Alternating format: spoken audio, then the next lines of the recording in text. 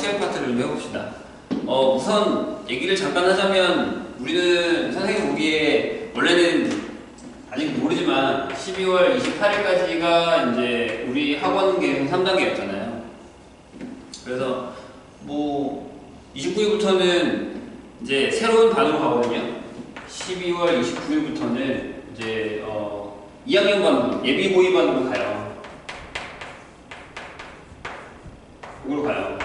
근데 음, 지금 상황을 보아하니 3단계 가기 전 단계라고 하더라도 이때 어, 수업을 강의할 수 있을지 없을지가 살짝 미지수긴 하거든요. 그쵸? 그래서 어, 이때부터 이제 그 반이 넘어가는 건 넘어갈 것 같아요. 선생님이 이제 오늘 우리가 수업이 끝나고 선생님들이랑 다 회의를 하는데 일단 수업은 넘어갈 것 같긴 하거든요. 그래서 이제 어쩌면 처음 수업을 화상으로 해야 될지 몰라요. 뭐 이 중에는 선생님한테 계속 수업을 듣는 사람도 있고 아닌 사람도 있긴 하지만 이제 그런 상황에서 이게 이제 그렇게 될 것 같거든요. 이렇게. 그래서 어, 선생님이 아마 이제 밴드방을 따로 만들 거예요. 밴드방을 따로 만들거나 유튜브를 사용하면 좋은데 유튜브가 좀 깨끗하고 화질이 좀 좋고 이제 끊기는 게 좀 덜하긴 하더라고요. 선생님 써보니까. 근데 유튜브는 이제 그 누가 들어가는지 몰라서 출석 체크라던가 이제 이런 부분에 있어서는 조금 힘들죠. 그래서 우선은 밴드로 관리를 할 거예요. 선생님이 이제 새로 방을 만들면 가입하라고 할 거고 이제 그 방에 다른 반들도 마찬가지 다른 반으로 가는 선생님이 아닌 다른 반으로 가는 학생도 마찬가지예요. 그 반에 가서 나온 선생님들이 그 이제 뭐 URL을 보내준다던가 아니면 가입하라고 한다던가 할 거고요. 그 다음에 프린트를 더 받아가라고 할 수도 있어요. 그리고 이제 우리가 지금 나눠준 날구정 같은 경우는 그 방에서는 안쓸 수도 있습니다. 선생님 같은 경우도 지금 고민 중인데 가서 안 쓸 수도 있어요. 근데 갖고 있으세요. 선생님이 딱 가서 아 이게 개념이 좀 아니다라고 싶으면 다시 알구정부터 다시 할 거기 때문에 가, 갖고 있는 게 아마 나으실 거예요. 음, 그건 뭐 걱정 안 하셔도 되고 그때 다시 설명을 해줄게요. 이렇게 시작이 될 거예요. 그렇다고 너무 이제 해이해지면 안 됩니다. 이제 우리가 좀 더, 선생님 항상 얘기하잖아요. 이럴 때일수록 좀 더 어, 침착하게 자리 잘 잡아서 작년을, 아, 올해 초를 생각하면서 그때처럼 우리가 좀 더 이제 조심해 가면서 수업을 하는 게 효율적일 것 같거든요. 선생님 생각에는. 그러니까, 어, 그런 부분에 있어서는 조금 더 신경을 써주세요. 생각을 좀더 하고 있고, 그 다음에 내가 좀 더 노력을 해야겠구나, 라는 생각을 해야 됩니다. 그러니까 뭐, 뭐, 안 보는데 어때? 그냥 대충 하지 뭐. 학교 수업할 때도 그렇다면서요. 화면 켜놓고, 앉아놓고 밑에서 핸드폰 하고 있고, 이런, 이렇게 뭐, 줌 수업을 한다고, 그렇게 한다고 하더라고요. 그러니까 막상 밴드로 수업을 하게 되면 더 그럴 거 아니에요. 더 안, 선생님이 안 보니까. 근데 일단은 선생님은 믿고 가요. 믿고 가니까 그 부분에 있어서는 좀 잘 따라와 주셨으면 좋겠어요. 힘들죠? 새 수업을 한다는 게, 이렇게 수업을 하는 게 힘들고, 뭐 본인한테는 좋을 수도 있어요. 좋을 수도 있는데, 선생님 조금만 더 노력을 해주면 좀 더 우리가 효율적으로 수업을 할 수 있지 않을까라는 생각을 하니까 조금만 따라와 주세요. 알겠죠? 음. 그런 쪽에서는 조금만 더 부탁을 할게요. 일단 수업을 한번 해봅시다.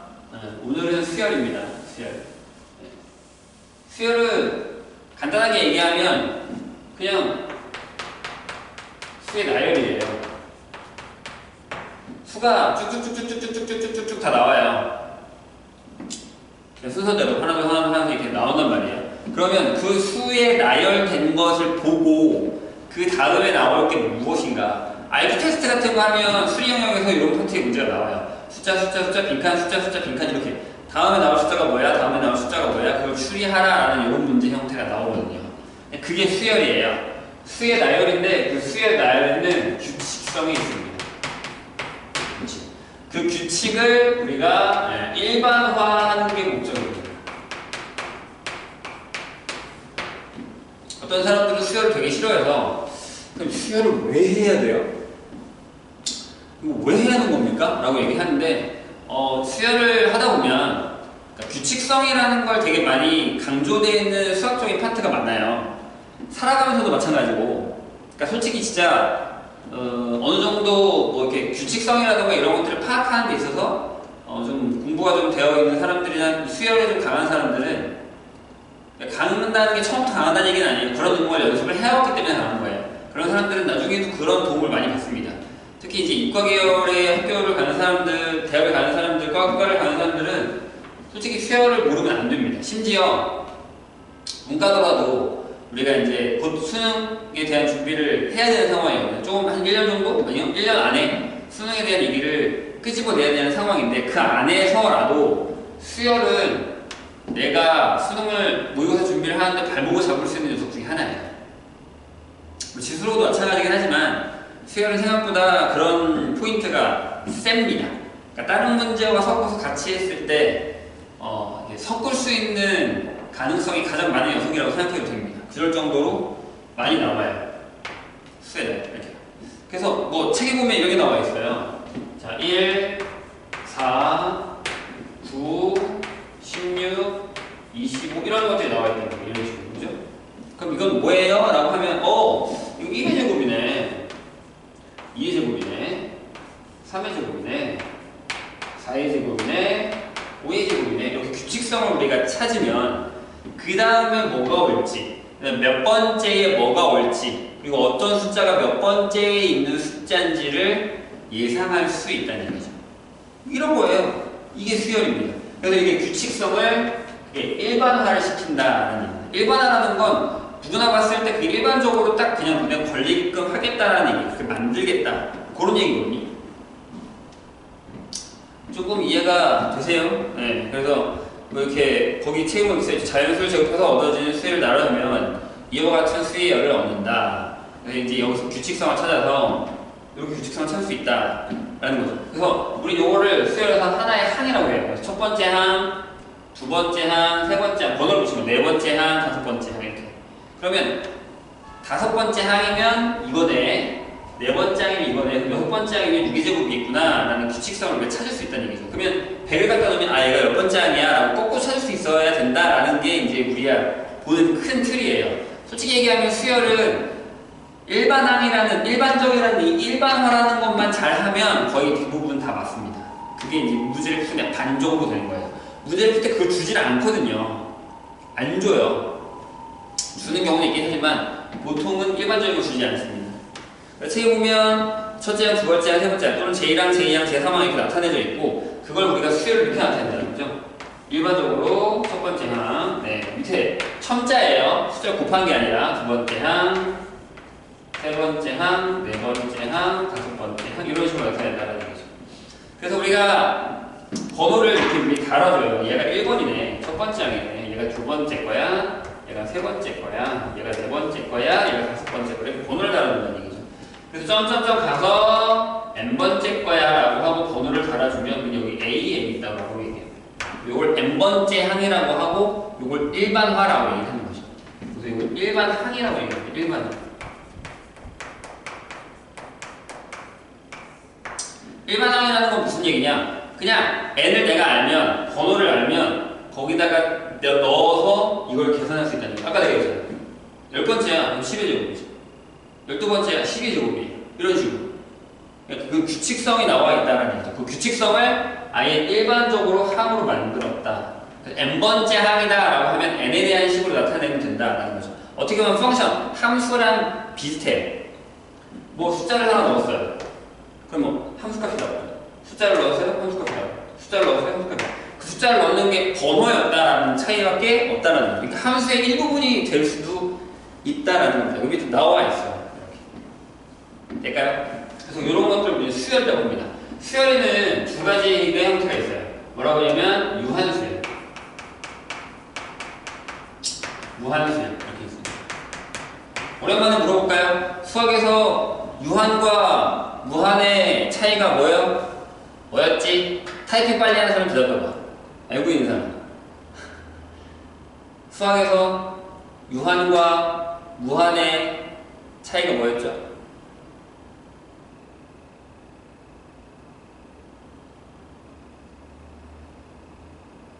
알고 있는 사람 없나? 답이 안 올라오네? 안 듣고 있니 얘들아? 어, 기억이 안 나는 거예요? 아니면 안 듣고, 안 듣고 있는 건가? 뭐였냐면, 어, 몰랐어. 분수? 그건 유리수고 뭐 하는 거야? 제가 수직선에 나타낼 수 있냐 없냐? 그건 실수고. 아니 유한과 무한의 차이.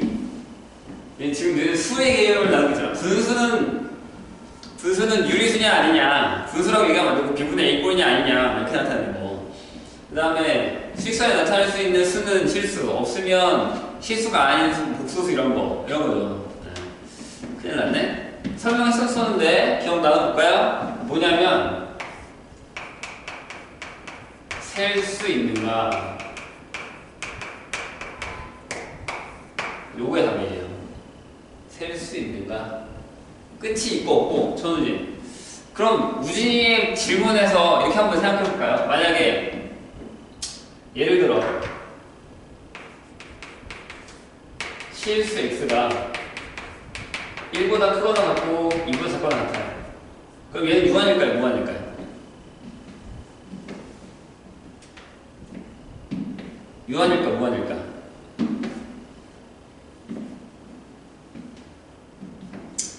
간단하게 써. 유, 유, 무, 무, 유, 유, 무, 무 이렇게 쓰면 되잖아. 찍어봐. 얘는 유한일까요? 무한일까요?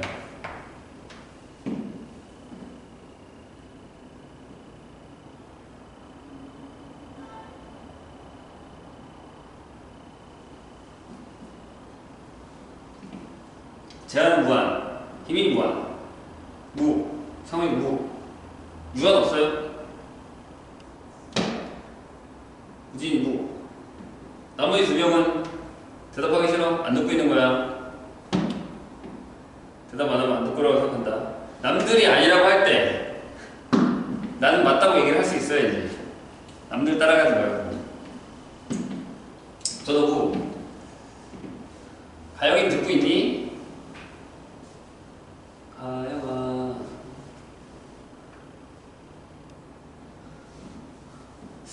안 듣고 있나 본데.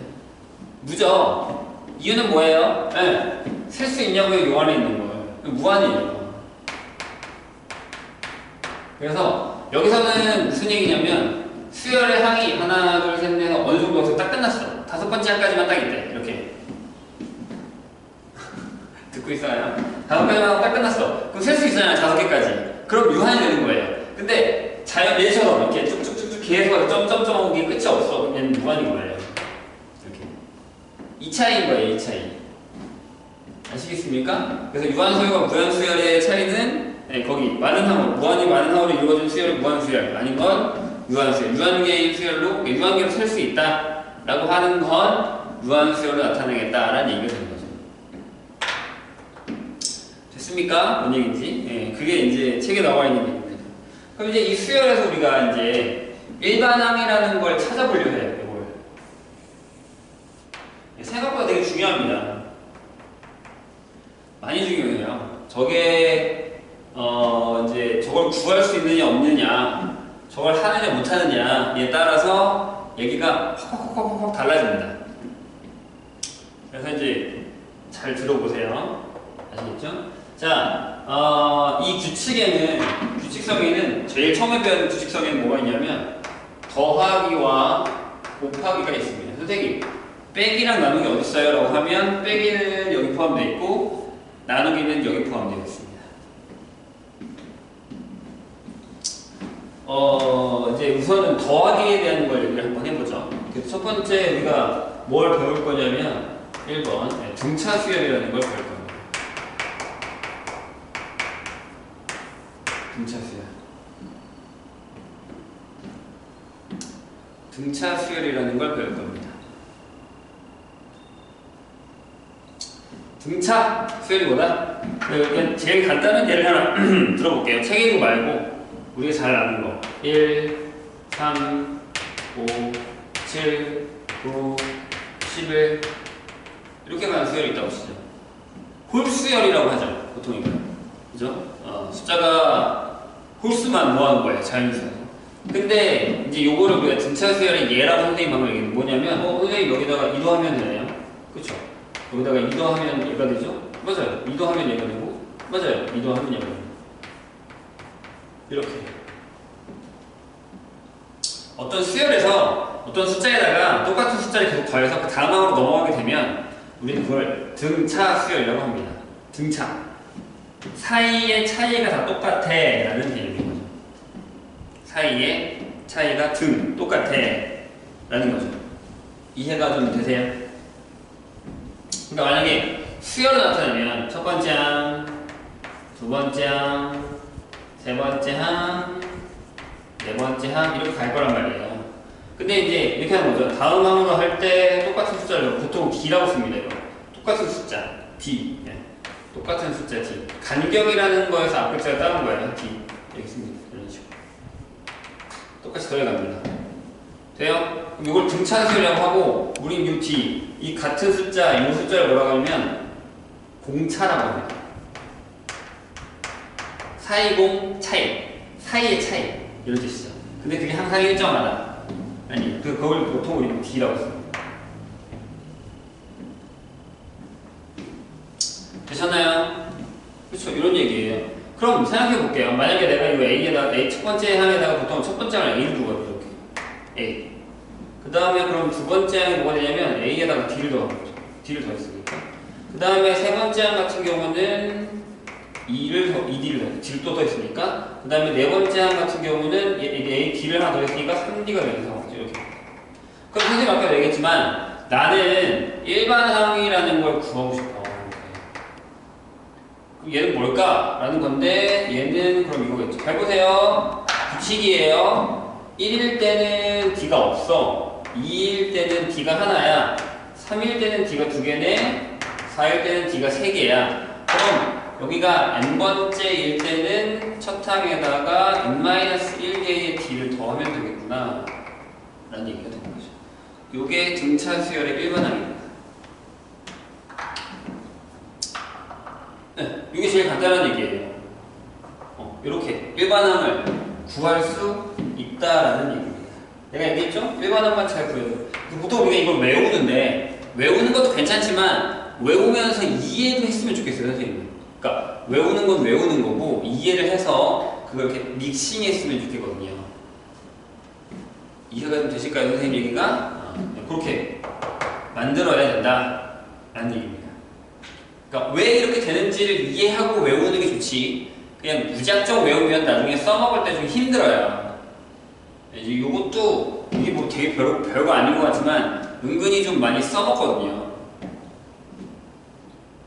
됐어요? 이해가? 자, 보세요. 선생님이 얘기했듯이 그러면 여기 1, 3, 5, 7, 9 해서 이렇게 결정했잖아요. 그래서 여기 번호를 달았어요. 1일 때 1이야. 2일 때 3이네. 3일 때 5야. 4일 때 7이야. 5일 때 9네. 6일 때 10이야. 이런 식으로 갈 거란 말이에요. 그러면 방금 우리가 했듯이 n번째일 때는 뭐야? 라고 물었단 말이에요. 자, 첫 번째. 여기 공식대로 해도 되고요. 자, 2씩 더했네. 2씩 더했네. 이렇게 계산이 상관없습니다. 첫 번째 항 1이잖아요. 그럼 얘가 A에는 1번 n번째인 A에는 1 더하기 n-1에다가 곱하기 공차 2를 하는 거죠. 공차가 2니까요. 그래서 이걸 계산하면 여기 2n-1입니다. 2n-1이 홀수열이라는 사실은 알고 있죠. 1, 3, 5, 7, 9로 시작하면 2n-1. 3, 5, 7, 9로 시작하면 2n 플러스 1로 시작합니다. 그것도 이제 구해보시면 돼요. 여기에 3이라서 그런 거예요. 뭐 아무튼 됐죠? 그런 다음 이걸 왜 구했냐라는 거예요. 자, 원래 문제로 가볼게요. 1, 3, 5, 7, 9 수열이 있어요. 선생님 이렇게 물어볼게요. 아, 저기 열 번째에 있는 게 뭐야? 열 번째에 있는 숫자가 뭐야? 여기서. 계속 써봐요. 뭐, 어렵지 않잖아요. 아, 19예요. 써봤더니 19예요. 써봤더니 19 나오잖아요. 그럼 이렇게 물어볼게요. 100번째에 있는 숫자는 뭐예요? 이렇게 물어본단 말이지. 그럴 때, 이게 지금 일반화가 돼 있다는 얘기잖아요. 여기 n에다가 100을 넣겠다는 얘기예요. 그럼 100을 넣으면 99가 되죠. 곱하기 1을 하면 198이 되고 1을 더하죠. 여기다 넣어도 200에서 1 빼는 거니까 얘가 199가 되는 거예요. 이렇게. 계산이 되고 있나요? 뭔 얘기인지? 그리고 또 한 가지 더. 뭐야? 거꾸로. 그러면 야 299는 몇 번째야? 몇 번째 수냐? 이걸 다 세요?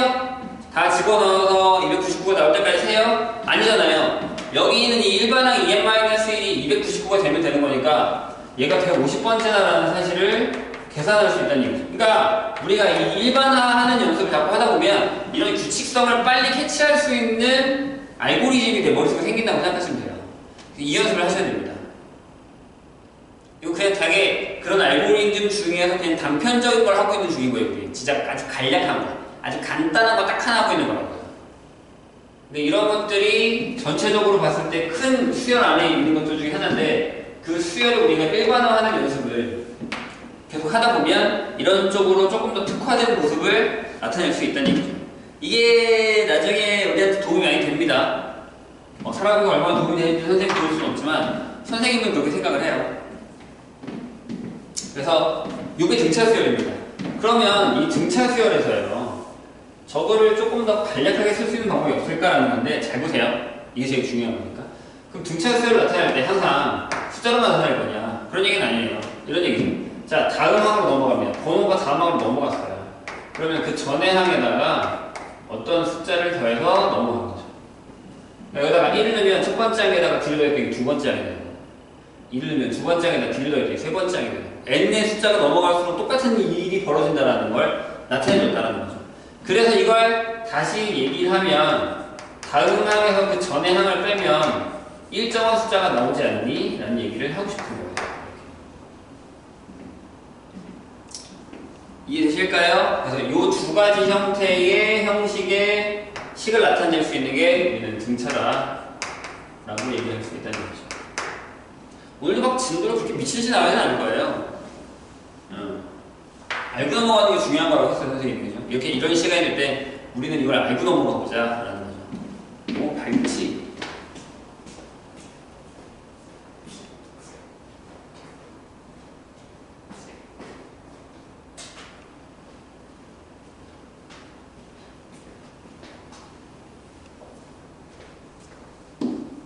좀 낫나요? 어, 좀 잘 보이는 것 같은데. 됐죠? 이런 얘기예요. 자, 171페이지를 설명하고 있는 중이고요. 어, 172페이지를 한번 넘어가 볼게요. 문제를 풀면서 문제를 풀면서 얘기를 한번 해봅시다. 중간에 혹시 질문 있으면 아니면 선생님이 이상한 얘기거나 틀리면 얘기를 해주세요. 해주셔야 됩니다.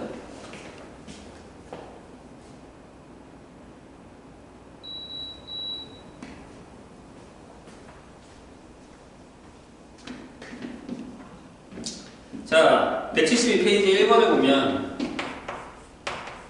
수열의 뜻이라는 게 있습니다.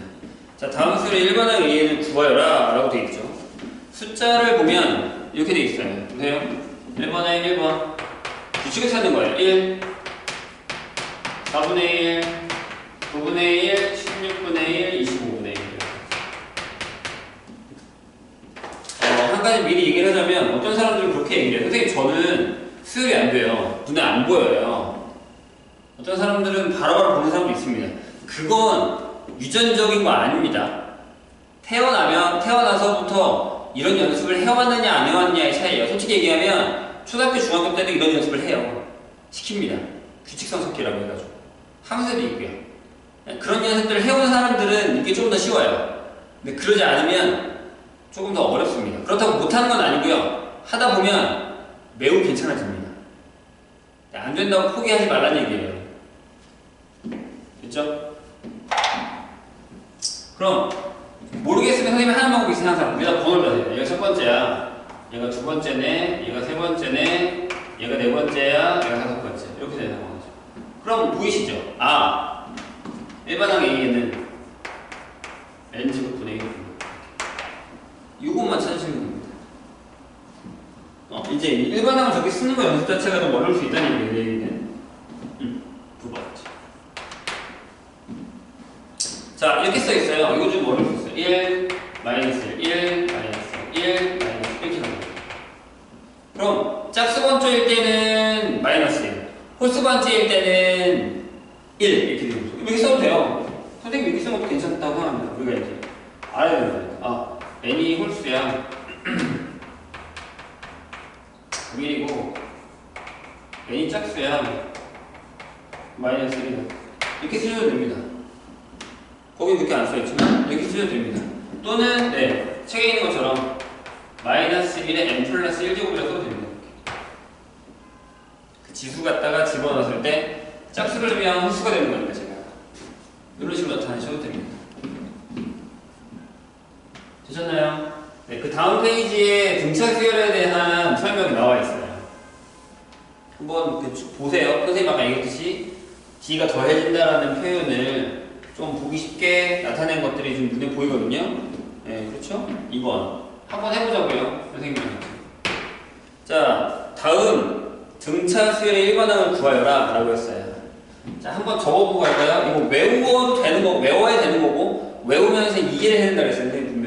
뭐라고요? 네. 첫 항이. 첫째 항이 A. 그 다음에 공차가 D. 일반항 A에는 A 플러스 N-1의 D다. 이런 얘기입니다. 어, 그 얘기예요. 1번. 자, 뭐라고요? 첫째 항이 11이래요. 첫째 항이 11이다. 공차가 마이너스 3이다. 이렇게 쓸 수 있다는 얘기. 이렇게 가는 거죠, 수열이. 어? 잘 보세요. 11. 공차가 마이너스네요. 어떻게 된 거예요? 해보죠. 마이너스 3을 더했다는 얘기. 봐봐요. 마이너스 3을 더했어요. 그럼 8이죠. 5고요? 2고요? 이렇게 가고 있는 거죠. 어떤 방면에서는 이게 어느 마이너스 3을 한 거네요. 마이너스 3을 한 거네요. 마이너스 3을 한 거네요. 마이너스 3을 한 거네요. 생각할 수 있지만 다르게 생각하면 더하기 마이너스 3을 한 거네요. 더하기 마이너스 3을 한 거네요. 더하기 마이너스 3을 한 거네요. 더하기 마이너스 3을 한 거네요. 라고 생각할 수 있다는 얘기예요. 괜찮을까요? 선생님 얘기가 뭔 얘기인지. 그쵸? 이렇게 되는 거잖아요. 그래서, 그래서, 네. 그래서, 마이너스, 아까 내가 얘기했죠. 마이너스가 플러스에 추가된다라는 건, 공차가, 공차가 0보다 항상 크지 않고 음수인 경우. 0인 경우도 있습니다. 다 만족할 수 있다라는 얘기. 그래서 얘도 등차수열이에요. 그럼 해볼까요? 일반항 A는 뭐예요? 이거죠. 11에다가 n-1하고 공차인 마이너스 1 곱하는 거죠. 얘가 마이너스 3n 플러스 14가 됩니다. 이렇게 나올 때는 항상 뭘 제일 먼저 확인하냐면 어, 선생님 제가 푼 게 맞을까요? 넣어보세요. 1 넣으면 2 넣으면 3 넣으면 네 확인해 보시면 됩니다. 두 번째. 이번에는 수열 자체로 줬죠. 어떻게 줬냐면 1, 5, 9, 13 이렇게 줬죠. 자 얼마씩 더하고 있나요? 좋아요. 첫째 항은 이 녀석일 거고요. 더하기 4 더하기 3 더하기 4 이렇게 가고 있는 거예요. 그러면 첫째 항이 1이고 공차가 4인 거죠. 네, 일반 항 A에는 네, 1 플러스 n-1 곱하기 4가 되면서 4n 마이너스 3이 됩니다. 집어넣어 보시면 답인 걸 확인할 수 있다. 라는 얘기죠. 오케이. 괜찮을까요? 넘어갑시다. 어, 밑에 있는 건 본인도 일단 풀려고 선생님 한 주면 푸는 거예요. 다음 페이지. 174페이지. 옛날에 했던 거 기억나니? 근데 얘들아? 너네 이거 보기엔 이거 한 걸로 아는데 내가 알기로는. 기억나? 기억이 나세요? 기억이 나십니까? 기억이 나야 되는데. 기억이 나기. 원래 이거 했다 저거 했다 하면 잘 기억이 안 나요. 자, 174페이지 부정 등차 수열. 그럼 이제 어, 수열의 성질을 우리가 알고 있으니까 그 수열의 성질을 가지고서 문제를 한번 풀어보자. 라는 얘기죠. 3번 보죠. 3번. 자, 다섯 번째 항이, 그럼 이렇게 쓸게요. 제 5항이, 다섯 번째 항이 105야. 이렇게 돼 있죠? 그리고 열한 번째 항이, 열한 번째 항이 57이야. 이렇게 돼 있습니다. 이렇게 되어 있는 등차 수열에 대해서 다음 물음에 답하여라. 1번, 첫째 항과 공차를 구하여라. 라는 거죠. 자, 우리는 요걸 가지고 간다는 얘기죠. 일반항 A에는 a 더하기 n-1의 d를 가져간다는 얘기예요. 이거를 가져가겠다. 그러면 얘는 뭐야? 얘네가 오르는 거니까 아 다섯 번째 하면 A 플러스 D를 네개 더한 거네. 근데 걔가 배고야. 열한 번째 항을 보니까 A 더하기 어 10개의 D를 더한 거구나. 어 57이네. 직감적으로 알 수 있죠? 공차가 음수구나. 빼자고요. A가 똑같으니까 이렇게 해서 마이너스 빼버리자고요. 그럼 마이너스 6D가 빼면 마이너스 48이 되는 거. 따라서 어 그냥 48이죠. 미안해요. 그냥 48이죠. 따라서 d가 마이너스 8 됩니다. 이거 다시 집어넣으세요. 아무데나 넣어도 상관은 없어요. 그럼 a-82 57이니까 a가 상당히 크군요. a가 137입니다. a 구했고 공차 풀했습니다. 되셨나요? 그 다음 두 번째 일반항을 우리가 만들 수 있는 거잖아요. 1번은 했고요. 1번 뭐라고요? 일반항 만들어서 15번째를 구하라 라는 거죠. 15번째 일반항 A는 그럼 137에다가 n-1 하고 여기다가 마이너스 8을 곱한 상황 이렇게 됩니다. 15번째 항에다가 137에다가 14 곱하기 마이너스 8을 계산하시면 되죠. 어, 110인가요? 112를 빼면은 25예요? 네, 25. 이렇게 나오죠. 이런 식으로. 뭐 어려운 건 아니죠. 일반화를 만들고 넣어도 되고, 지금 우리가 하는 방법대로 쓰셔도 되고 상관은 없습니다. 세 번째. 뭔가의 일반적인 일반화한 것을 써먹을 수 있는 문제를 풀어보겠다는 얘기예요. 자, 처음으로 음수가 되는 항은 제 몇 항인지 구하라 라고 했습니다. 처음으로 음수가 되는 거예요. 어느 순간부터 처음이 요건데 계속 얘로 빼나갈 거 아니에요. 그래서 음수가 되는 데가 언제냐라는 건데 일반항 A에는 다시 한번 적어볼까요? 135, 137에다가 마이너스 8n 플러스 8입니다. 그래서 얘가 마이너스 8n에 플러스 145가 되죠. 얘가 음수가 되는 걸 찾는 거니까 8n이 145보다 커야겠죠. 그럼 n이 나눴을 때 어, 1 어, 6, 6, 6, 68.125 이렇게 되겠죠. 18.125 이렇게 나오잖아요. 그럼 언제부터요? 네. 19번째 항부터 음수다라고 얘기할 수 있겠죠. 못 믿는 사람도 있잖아요. 넣어보세요. 18을 넣었을 때와 19를 넣었을 때 차이를 보시면 됩니다. 19부터는 계속 음수다 라고 생각하시면 됩니다. 됐어요? 오케이. 자, 그 다음에 175페이지 넘어가죠. 175페이지 넘어가면 어, 등차 수열의 성질이 하나 나옵니다. 등차 수열의 성질. 두 가지 정도가 있는데 그거를 좀 하고 갈까요? 얘기를? 한 세, 두세 개 정도가 있는데 선생님이랑 하고 가죠. 자 일단 일반항 AN이라는 건 우리가 만약에 등차 수열이 이렇게 자리를 잡고 있다고 하죠. 그래서 우리가 일반항 구에 꼭 계속 이렇게 간다고 한번 해볼게요. 그럼 그 안에서 우리가 일반항을 구했어요. 일반항 AN이 A 더하기 n-1의 d라는 걸 구했죠. 근데 이걸 아까 선생님이 있지만 함수라고 생각하면 함수의 x자리에 들어가 있는 게 뭐냐면 n이란 말이에요. 그럼 이걸 n에 대한 식으로 이렇게 돼요. Dn 플러스 a 마이너스 t 라고 해서 뭐라고 얘기할 수 있냐면 n에 대한 1차식이라고 얘기할 수 있다는 얘기죠. n에 대한 1차식. 맞죠? 그래서 이제 계산해보면 여기 봐봐요. an이 이거야. 이렇게 나타내지는 거잖아요. 그래서 an을 만약에 예를 들어 일반항 an을 an 플러스 b 형태로 줬다. 라고 한다면 우리 여기서 한 가지 사실을 알 수 있죠. 아! 공차가 A입니다. 라는 사실을 알 수 있죠. 바로 딱 보자마자 n에 대한 1차식이야. 그러면 n 앞에 있는 숫자가 뭐야? 공차야. 첫 번째가 누르면 되잖아. A 더하기 B. 이렇게 나타낼 수 있다 라는 얘기입니다. 되셨나요? 이게 첫 번째. 얘는 1차식이다. 두 번째. 뭐냐면 만약에 예를 들어 A하고 B하고 C가 유순서들 분차예요. 유순서들 분차다. 그러면 요게 성립합니다. 가운데 항은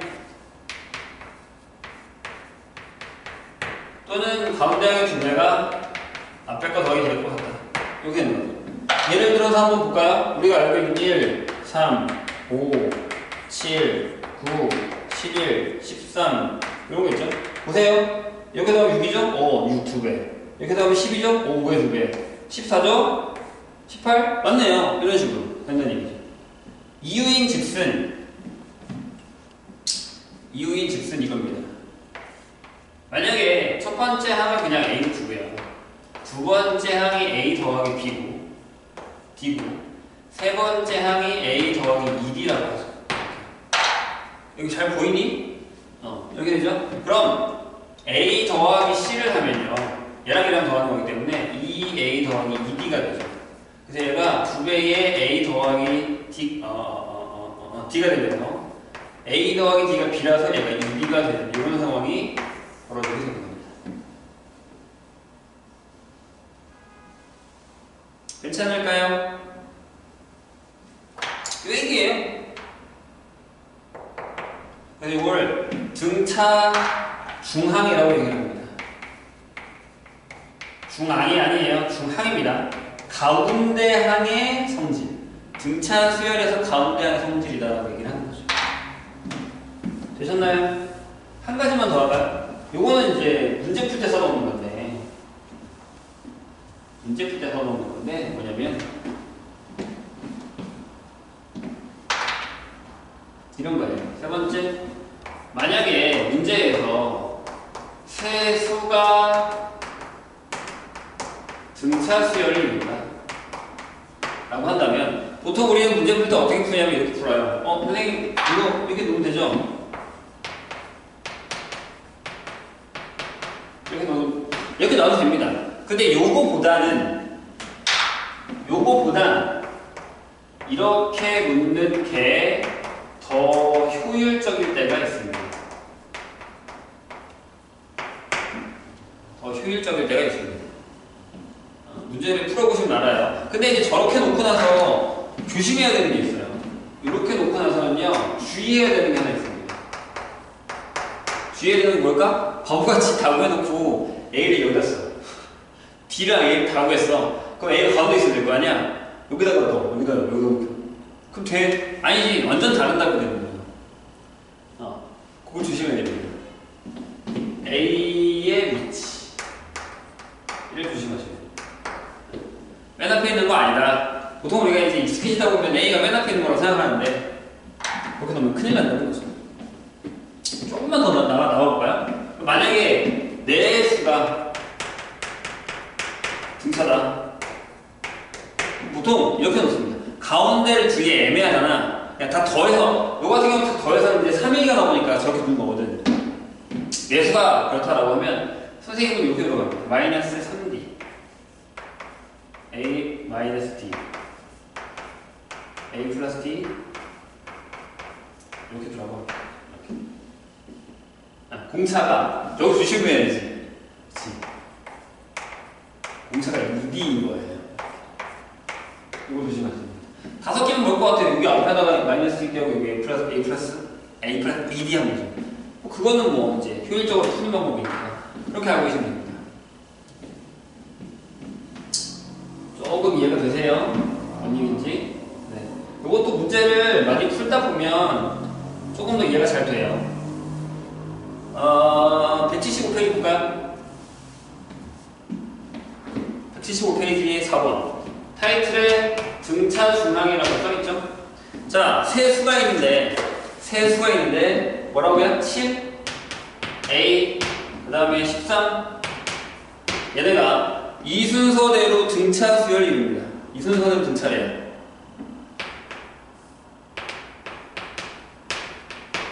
이렇게요. 그 다음에 A하고 B하고 A하고 6하고 B로 이 순서대로 그 다음에 A하고 B하고 C로 전부 등차 수열이 있는데 C가 얼마냐? 물었습니다. 천천히 해볼까요? 뭐 이렇게 돼요. 어, D도 했네, B를 더했는데 2D를 더했으니까 2D가 6구나. 아, 이렇게 생각해도 상관없는데 이렇게 하면 되잖아요. 방금 했던 것처럼 아 가운데 두 개는 이렇게 되는구나. A가 10이고 여기 10이죠. 4가 줄었잖아요. 4가 더 줄니까 B가 2겠죠.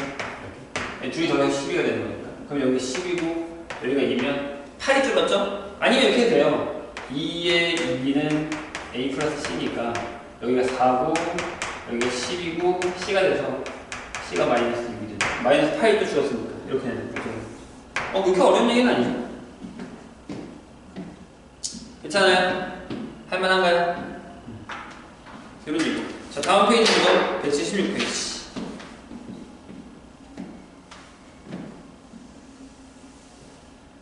뭐 어느 정도 이게 돼 있으면 이 정도까지 설명을 안 하고 넘어갈 수도 있어요. 어쩌면. 근데 필요한 건 해야죠.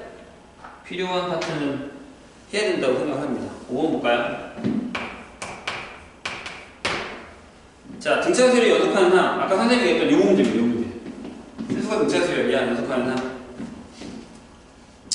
자, 등차수열을 이루는 세수가 있다. 세수의 합이 21이고 이걸로 한번 풀어볼까요? 세수를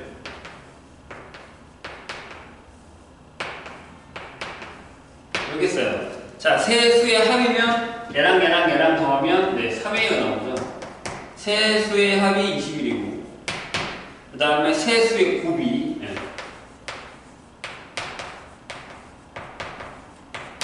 얼마라고요? 281이에요. 이럴 때 세수를 구하라 라는 얘기죠. A가 바로 나왔죠? 네. A가 7입니다. 여기다 집어넣을까요? 이렇게 돼요. 7 마이너스 D, 7, 7 플러스 D가 280이에요. 그럼 이렇게 가세요. 7을 약분하면 얘랑 그 합참. 49 마이너스 D의 제곱이 얼마예요? 40이죠. 따라서 D의 제곱이 9가 되면서 D가 뿔마 3이 됩니다. 이렇게. 괜찮을까요? 어?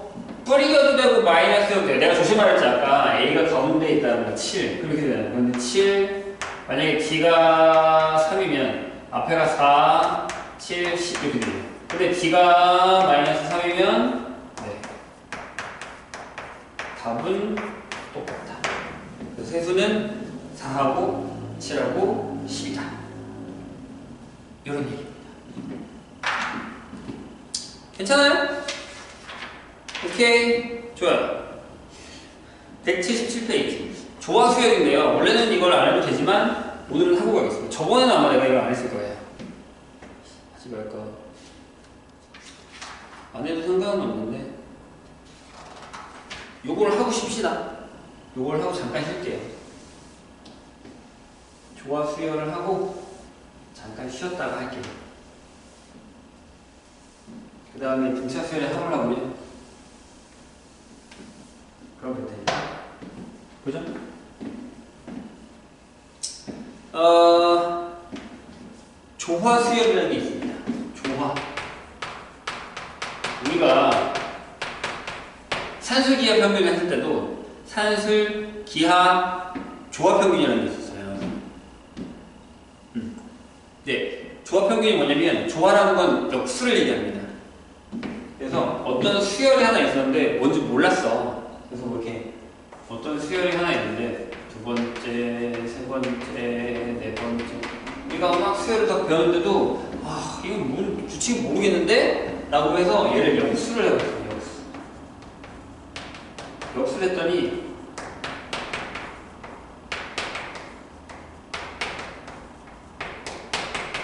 이렇게 합니다. 얘가 등차예요. 그럼 얘 원래 수열 우리가 조화 수열이라고 해요.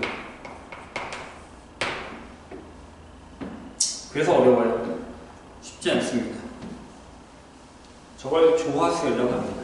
이 정도만 알고 있으면 돼요. 일반항을 구하지 않아도 됩니다. 어차피 나올 때마다 구하면 되는 거니까. 아, 조화 수열은 역수를 취하면 뭐다? 등차다. 이런 얘기죠.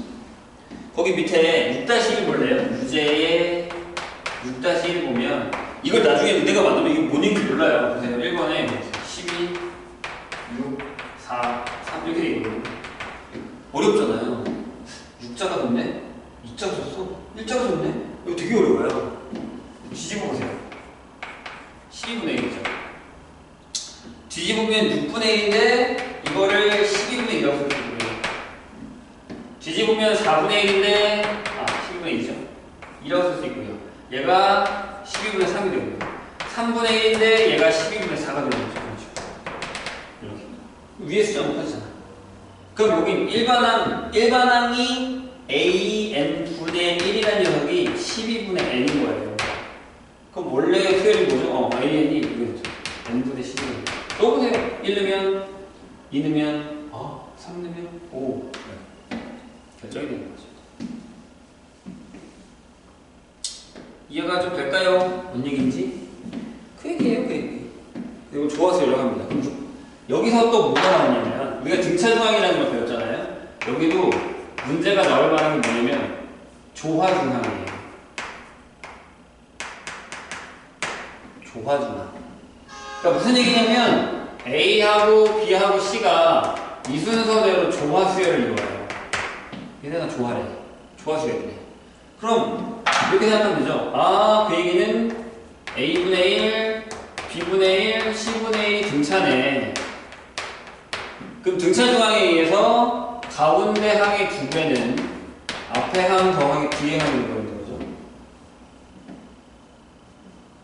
괜찮아요? 그럼 여기가 AC분의 A 더하기 C가 되고요. 뒤집으세요. 난 B를 가운데 항 구하는 게 목적이잖아. 2분의 B는 A 플러스 C분의 AC가 되고 따라서 B는 AC분의 2AC가 된다라고 하는 게 조화 중항입니다. 외우지 말고 어, 그냥 등차 중항에서의 요 파트를 외우는 게 나을 거예요. 요거보다. 외우기 별로 그렇게 되게 막 빈번하게 나오는 게 아니라서 6번 볼까요? 6번 풀어볼까요? 자, 두수 6하고 5분의 6 사이에 세수 ABC를 집어넣으세요. 6하고 이런 문제가 어렵지. 5분의 6 사이에 세수 A하고 B하고 C를 집어넣어요. 느낌이 좀 오지요? 느낌이 좀 오죠? 1, 2, 3, 4, 5. 어, 느낌이 좀 오죠? 그래서 얘가 조화수열을 이뤘대요. 조화수열을 이뤘을 때 ABC 값을 구하라. 이런 얘기죠. 그럼 생각해보세요. 자, 뒤집었어요. 그렇게 되면 6분의 1, A분의 1, B분의 1, C분의 1, 6분의 5죠. 번호를 달아서 얘가 1번, 얘가 2번, 얘가 3번, 얘가 4번, 얘가 5번이잖아요. 근데 얘가 뭐예요? 얘가 등차예요. 그럼 일반항에서 등차 6분의 1, 응? AN분의 1이라는 녀석이 일반항을 잡으면 얘가 6분의 1 더하기 등차를 했을 거 아니에요? 다섯 번째 항 구하세요. 여기 4대. 근데 얘가 6분의 5잖아요. 그러니까 D가 얼마예요? 6분의 1이겠죠. 그러니까 느낌이 아까 언더했죠? 그럼 A분의 1, 두 번째 항인 A분의 1은 뭐예요? 여기 A분의 1. 두 번째 항. A분의 1 여기다가 6분의 1을 더했으니까 여기가 6분의 2가 되죠. 그럼 3분의 1이 돼서 A는 3. 그럼 B분의 1은요? 6분의 3이 돼서 2분의 1이니까 B가 2. C가 어렵다. C는 자리가 돼요? 자, 보이세요? 어, C분의 1은 6분의 4가 돼서 3분의 2가 돼요. 그래서 C는 2분의 3. 이렇게 나온다는 얘기죠. 되셨나요? 어, 여기까지가 일단은 수열이고요. 등차 수열이고. 그 다음에 등차 수열의 합을 한 다음에 등비까지는 오늘 조금 할게요. 등비 수열의 합을까지 해줄 수 있을 것 같은데? 네. 뭐, 원리 합계는 나중에 하더라도 일단 거기까지 하겠습니다. 잠깐 쉬었다가 올게요. 잠깐 쉬었다가 옵시다. 멀리, 멀리 가지 마시고, 끄지 마시고요. 알겠죠? 오케이.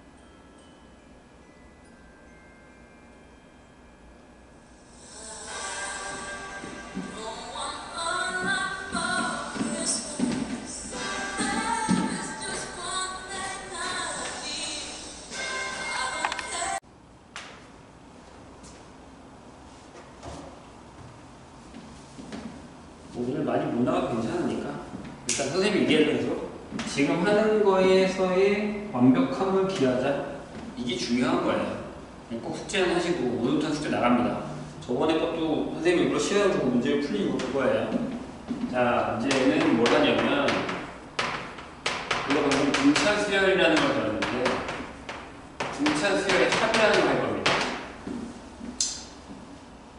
다 듣고 있니 얘들아? 어디 켜놓고 간 거 아니지? 켜놓고 어디 간 거 아니죠? 등차 수열의 합을 할 겁니다.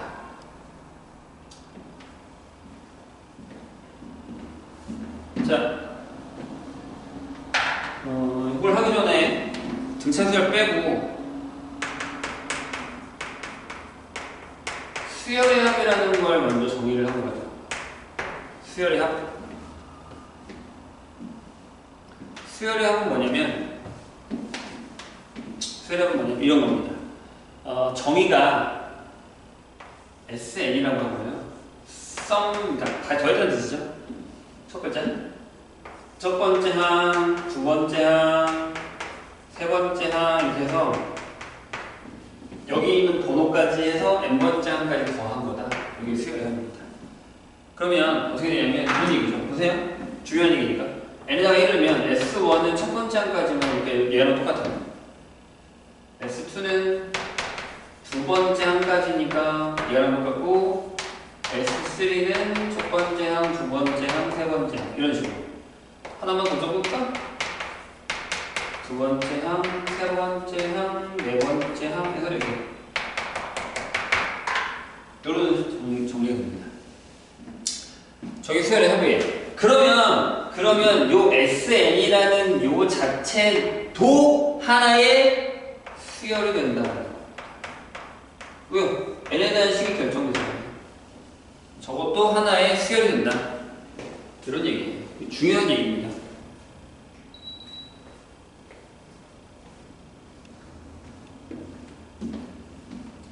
되실까요? 뭔 얘기인지? 이것도 하나의 수열이다. 그래서 이걸 잘 기억해 주세요. 이따가 또 이걸 가지고서 또 새로운 정리를 좀 할 거니까. 자, 그 다음.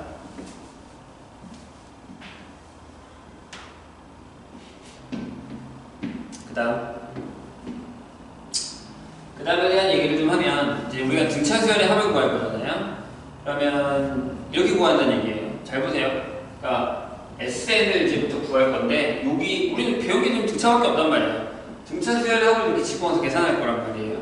첫 번째, 뭐가 나오냐면, 첫 항이 A고요. 공차가 D고, n번째까지 합을 구해서 SN이라고 한다면, SN의 공식은 이게 됩니다. 2A 분의 2A는 저 갑자기 이해가 안 돼요. 2분의 얘는요? 2분의 N 하고 2A 여기가 2A N-1의 T다 이런 형태가 나온다는. 이게 무슨 얘기냐면 자 1부터 10까지 더하면 얼마예요? 55 1부터 100까지 더하면 5050 어떻게 계산하는 거죠? 맨 앞에 거 맨 뒤에 거 더하고 반뒤 곱하기? 어 그 얘기거든요. 보세요. 어떻게 한 거냐? SN이 이 공식대로 해서 등차라서 집어넣었단 말이에요. 등차라서 집어넣었어요. 그랬더니 SN이 이렇게 되는 거잖아요. 첫 번째 항이니까 A 더하기 A 더하기 D A 더하기 2D A 더하기 3D 이렇게 되죠. 그래서 어디까지 더할 거야? 라고 했더니 맨 끝에 항이 A 플러스 N-1의 D 이렇게 된다고 하죠. 그 전에 있는 항이 뭐였죠? A 플러스 N-2의 D 이렇게 되는 상황이에요. 이해되세요? 그죠? 그럼 이거를 거꾸로 한번 더 썼어요. 무슨 얘기냐면 여기다가 a를 쓴 거지. a 더하기 여기가 a 플러스 2 어, 이런 식으로 거꾸로. 그래서 여기가 뭐가 오냐면 a 플러스 n 마이너스 1의 t 그 다음에 a 플러스 n 마이너스 2의 t 이런 식으로 반대로 쓴 거예요. 어차피 이렇게 더하나 이렇게 더하나 같은 걸 거잖아요. 그런 다음에 위아래를 더합니 더해요. 그러면 두 개의 내가 구한 SN이 되는 거고 그죠? 얘에서 얘를 더하니까 아 2a에 n-1의 d가 되고 얘랑 얘랑 더하니까 d를 하나 충족해서 여기도 2a에 n-1의 d 계속 그렇게 더했더니 마찬가지 마찬가지 2a 플러스 n-1의 d가 나오더라 이런 얘기죠 얘가 몇 개 있죠? 첫 번째부터 n번째까지 n개를 더했으니까 얘가 n개가. 여기 이로 나누면 여기 나옵니다. 이게 등차 수열이 합니다. 라는 거죠. 그 가우스의 유명한 일화잖아요. 야, 씨, 너네 공부 안 하니까 1부터 100까지 더해. 그러니 가우스가 1이랑 끝에가 100 더하고 100개네. 앞뒤로 더했으니까 2로 나누자. 이거 5050. 이렇게 나왔다는 얘기죠. 이 얘기. 이게 등차 수열의 합입니다. 되실까요? 음. 책에는 좀 다른 얘기가 나와 있어요. 이게 이제 이런 형식이라면 지울게요. 어, 봐- 봐주시고, 봐주시고. 이번에는 좀 다른 형태의 합을 쓸 건데, 뭔 얘기냐면, 보세요. 두 번째. 이번에는 첫 항이 나와 있고, 끝 항이 나와 있고, n이 나와 있어요. 공차 없는 거지. 맨 앞에 거, 맨 뒤에 거만 넣는 거. 얘처럼. 그럼 SN은 n번째까지 하면 2분의 n개야. 맨 앞에 거, 맨 뒤에 거 더해. 근데 솔직히 얘기하면 이게 여기 같은 얘기죠. 왜냐면 L이라는 게 n번째일 테니까 얘가 A 더하기 n-1의 D일 테니까. 이것도 같은 얘기예요. 이것도 같은 얘기예요. 보세요. SN을 이렇게 하면. A 더하기 A 더하기 D 더하기 A 더하기 2D 더하기 해서 맨 끝에가 L이잖아요. 여기 L-D라고 하는 거죠. 반대로 더하는 거죠. SN 여기 L L-D L-ED 이런 식으로 여기가 A. 여기 A 플러스 D. 이렇게. 그 위아래를 더하는 거예요 이렇게? 그러면 두 배의 SN은 여기 더하니까 A 플러스 L 되고 이렇게 더하니까 A 플러스 L 되고 이렇게 더하니까 A 플러스 L 되고 이렇게 되는 거죠? 마찬가지로 여기도 A 플러스 L 되고 여기도 A 플러스 L 되고 그러니까 뭐예요? 그쵸? N개의 A 플러스 L이 있고 앞에 1이 나오니까 이 공식이 나오게 얘기죠 요게 등차 수열의 합두 가지 형태입니다 식 같아요 표현만 다를 뿐이다 라는 거죠 근데 이제 이렇게 수열의 합을 배우게 되면 요거를 가지고서 우리가 풀 수 있는 게 생각보다 많다는 겁니다 듣고 있니 얘들아? 나 지금 혼자 떠들고 있는 거 아니지? 듣고 있는 거죠? 그래서 저 두 개의 공식을 가지고서 한번 문제를 풀어봅시다.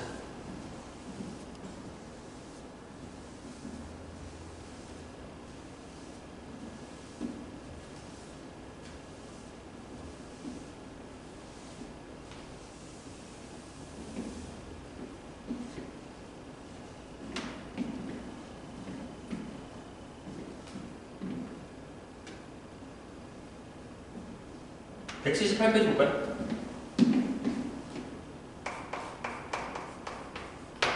(178 페이지)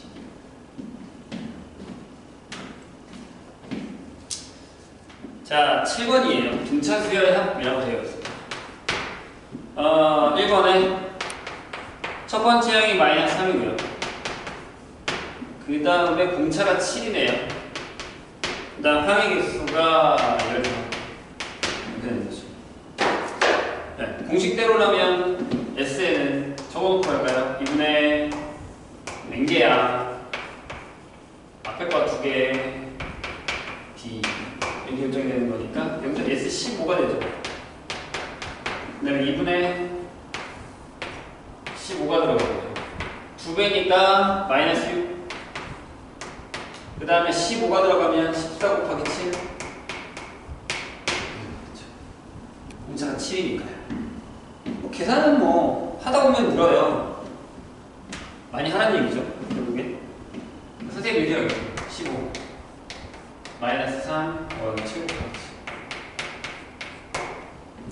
7. 77에 49니까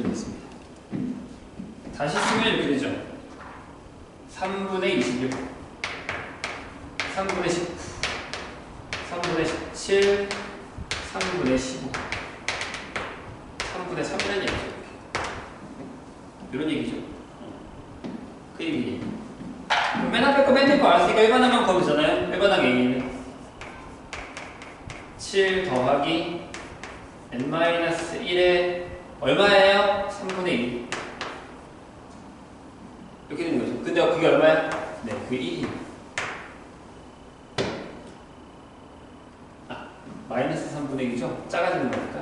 미안요. 그럼 마이너스 3분의 2에 n-1을 한 게 마이너스 6이니까 n-1이 9겠죠.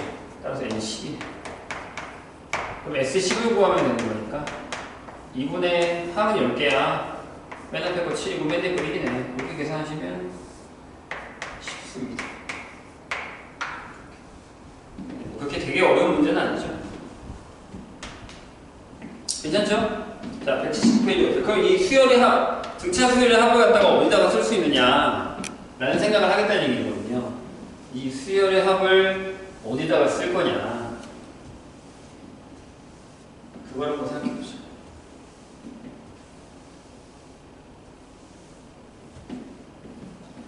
(179) 페이지 8번 배수의 합입니다. 선생님이 욕심 같아서는 빨리 수원을 진짜 후다닥 끝내고 수출을 좀줄 정도로 좀 많이 했으면 좋겠거든요.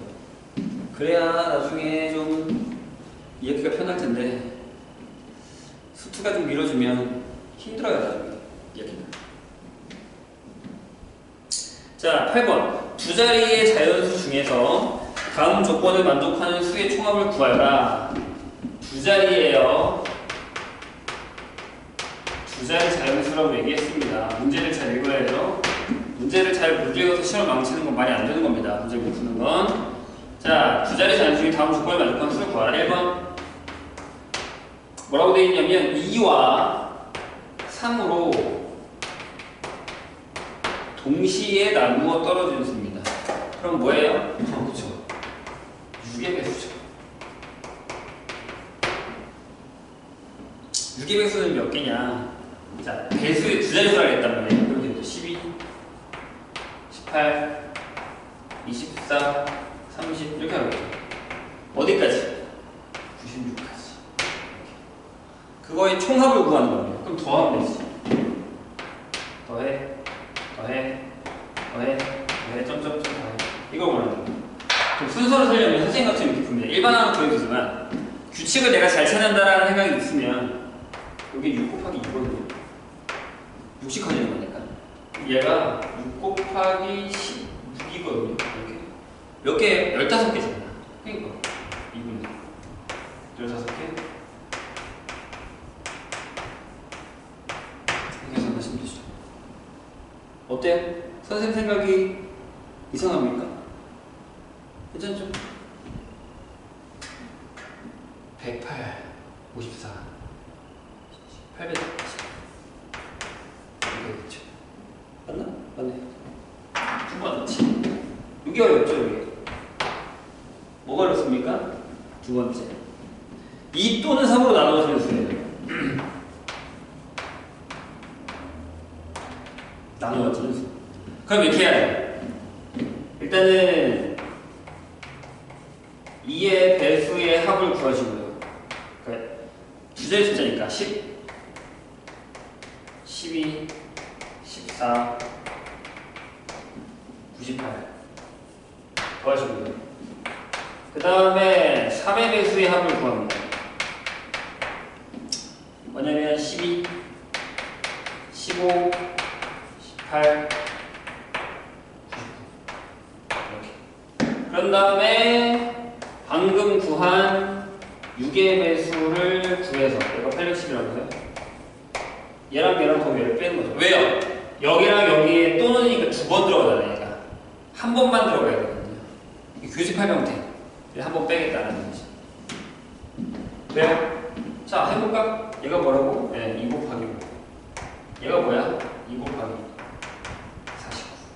그럼 얘는 뭐예요? 네, 2분의 몇 개야? 얘에서 얘 빼면 45개죠. 쟤까지 세야 되니까. 와우. 이렇게 되고요. 얘는 3 곱하기 4. 얘는 3 곱하기 33. 그러면 30개네. 2분의 30개. 이렇게 되겠죠. 이건 계산 한번 볼게요. 너무 큰데 얘가 얘가 2430 얘가 1665 답은 얘네 수를 더하고 빼기 810을 하니까 얼마 나오냐면 3285래 계산을 하시면 되는 거니까 이런 식으로 방법이 있다는 거. 이 배수의 결정 이런 문제를 전형식으로 생각보다 많이 나와요. 그러니까 잘 알고 계셔야 됩니다. 아시겠죠? 넘어갑시다. 9번 등차 수열의 합의 최초가 나옵니다. 이건 뭐냐? 등차 수열 합을 구했어. 합을 구해놓고 그 합에서 최대값과 최소값을 계산해보자. 라는 얘기죠.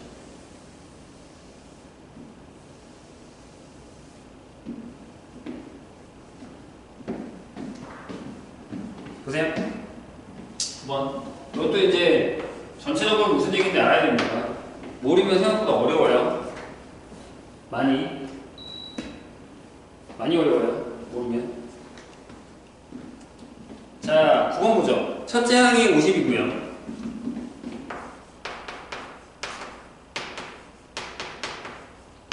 공차가 마이너스 3인 등차 수열에 대하여 다음 그룹에 답하여라. 1번. 1번 항 구하죠. 어려운 거 아니잖아요. 1번 항 A는 50에 더하기 n-1에 마이너스 3입니다. 그래서 얘가 마이너스 3에 플러스 53. 선생님 뭐라 했죠? 구해놓고 이상하면 대입해봐라. 맞죠? 이렇게 됩니다. 두 번째. 질문 뭐예요? 몇 항부터 처음으로 음수가 되는지. 계속 빼갈 거 아니에요. 아까 풀었죠? 마이너스 3n에 플러스 53인데 얘가 0보다 작은 걸 먹었어요. 그러면 3n이 53보다 클 거고 n은 나누면 17. 점 얼마 얼마 이렇게 나옵니다. 몇 번째부터요? 네, 18번째부터. 어, 보니까 17번째 항이 2고요. 18번째 항이 마이너스 1입니다. 갈리죠? 세 번째 질문을 볼까요? 첫 항부터 몇 항까지 함이 최대가 되는가? 그때 최대값을 구하라. SN의 최대값입니다. 생각해보세요. 얘를 몇 구했을 것 같아요? 여기까지 합하면 다 플러스 양수만 더하는 거지. 그다음부터 여기서 더하면 어떻게 돼? 그러니까 17번째 항까지만 구하면 다 양수야. 그냥 그 양수만 다 더한 거야. 근데 18번째 항 더하면 순간부터 빼기 시작하죠, 그다음부터. 그럼 당연히 뭐겠어? 그렇지. S17이 최대겠죠. 그다음부터 뺄 거니까. 그 앞에까지는 다 양수였을 거고. 선생님 얘기 이해 됩니까? 그죠? 그럼 구해볼까? 어떻게? S17 구하자. 2분의 항이 17개. 알고 있잖아. 구해도 돼, 이렇게. 아, 50. 더하기 이렇게. 그러면 17 곱하기 26인가요? 그쵸? 얼마야? 계산하면 17 곱하기 56. 440. 이렇게 되겠죠. 돼요? 그쵸? 근데 이 방법 말고 다른 방법으로 구할 수 있어요. 그러니까 이걸 하지 않았어. 여기서 자유롭게 오고 싶어. 이 방법으로 푸셔도 돼요. 다른 방법은 뭐냐? 이런 거예요. SN을 더해요. SN. 자, SN을 구하면 성질까지 한번 하고 갈게요. 보세요. 얘가 이거잖아요. 2분의 N에 2A 마이너스, 아, 플러스 N 마이너스 1의 D잖아요. 그럼 요거를 n에 대한 식으로 아까 내가 함수라 했잖아요. n에 대한 식으로 나타내면 이렇게 되거든요. 2분의 d에 n제곱 이렇게 나와요. 뒤에 가면 문제가 나오는데 몇 분 남았냐? 48분? 오케이. 그 다음에 여기에 2분의 2a 마이너스 d의 n 이 형태가 나와요. 그러니까 n에 대한 2차식이 나오는 거 아니야. 보면 sn을 이렇게 쓸 수 있어요. sn을 a의 n제곱 플러스 bn 플러스 대한 형태로 줘요. 이렇게. 근데 보통 C가 없는 경우가 많아요. 등차일 경우. 이건 좀 이따 할게요. C가 없어야 등차 수열이. C가 있으면 등차 수열이 첫 항부터가 아니라 두 번째 항부터라는 거. 좀 이따 설명하기로 하고 뒤에 가면 나오니까. 이렇게 줘요. 2차로. 그럼 얘랑 비교하는 거예요. 따라서 여기서 여기서 A 아까는 일반항 AN 플러스 BN의 1차식이었을 때 공차가 A였잖아요. 여기는 아니에요. 여기는 공차가 2A입니다. 얘가 달라요. 이렇게 많이 풀면 되면 아는데 이렇게 된단 말이에요. n에 대한 2차식. 그쵸? 어. 이런 n에 대한 2차식이 된다는 좀 이따 다시 설명할 거예요. 그러면 SN을 이렇게 풀어보자는 얘기죠. 저 그대로 넣어볼게요. 봐요. 2분의. 여기 n이 붙었죠. 50이니까 여기 100이잖아요. 플러스 n-1 하고 가로 쳐야겠네. 하고 d가 마이너스 3이란 말이에요. 이렇게. 이런 식으로. 그럼 보세요. 얘랑 얘랑 얘랑 만나니까 마이너스 2분의 3에 여기 지금 더럽긴 해. n제곱이 되고. 그 다음에 여기가 3이라서 2분의 103에 n이 나와요. 이렇게. 맞죠? 이런 식으로 나오거든요. 그럼 얘를 되게 더럽다 얘는 2분의 3으로 묶어서요. 여기 n제곱이고 마이너스 3분의 103 n 이렇게 쓰는 거죠. 그 다음에 여기 얘의 반의 제곱이 들어가요. 얘의 6분의 103의 제곱이 들어가죠. 이렇게. 그 다음에 빼기, 그러니까 더하기 2분의 3하고 6분의 103의 제곱 형태가 들어가요. 그러면 봐봐요. 마이너스 2분의 3하고 여기 n 마이너스 6분의 103의 제곱하고 나머지 얘 쓰면 돼요. 그럼 어차피 n은 이게 그래프가 이렇게 그려진단 말이야. 그러면 얘가 여기 아니면 여기인데 여기 끝 시점이 여기가 n이 6분의 103이라는 말이에요. 얘가 얼마인지 계산해 보세요. 얘가 어 17점 어1 얼마 얼마 이렇게 나온단 말이에요. 어디 가까워요? 17이 가까워 18. 그러니까 여기가 n이 17인 거고 여기서 살짝 내려오면 n이 18인 거야. 그럼 n일 때가 여기 더 클 거 아니에요. 어차피 자연수일 때만 이렇게 딱딱딱딱 나오면 되니까 이런 식으로 이렇게 이렇게. 이거 어렵죠. 그래서 n이 17일 때가 최대다라는 걸 똑같이 잡을 수가 있어요. 이렇게. 이건 좀 더럽죠. 근데 여기 또 깔끔하게 나오는 경우가 되게 많거든요. 이 방법도 알고 있어야 됩니다. 2차 함수의 꼭지점, 최대값, 여기. 여기 이해가 잘 안 될 수도 있어요. 다시 물어보셔야 돼요. 이때가 최대가 아니죠. n인 자연수니까. 그 얘기, 그 얘기. 선생님이 하고 싶은 얘기는.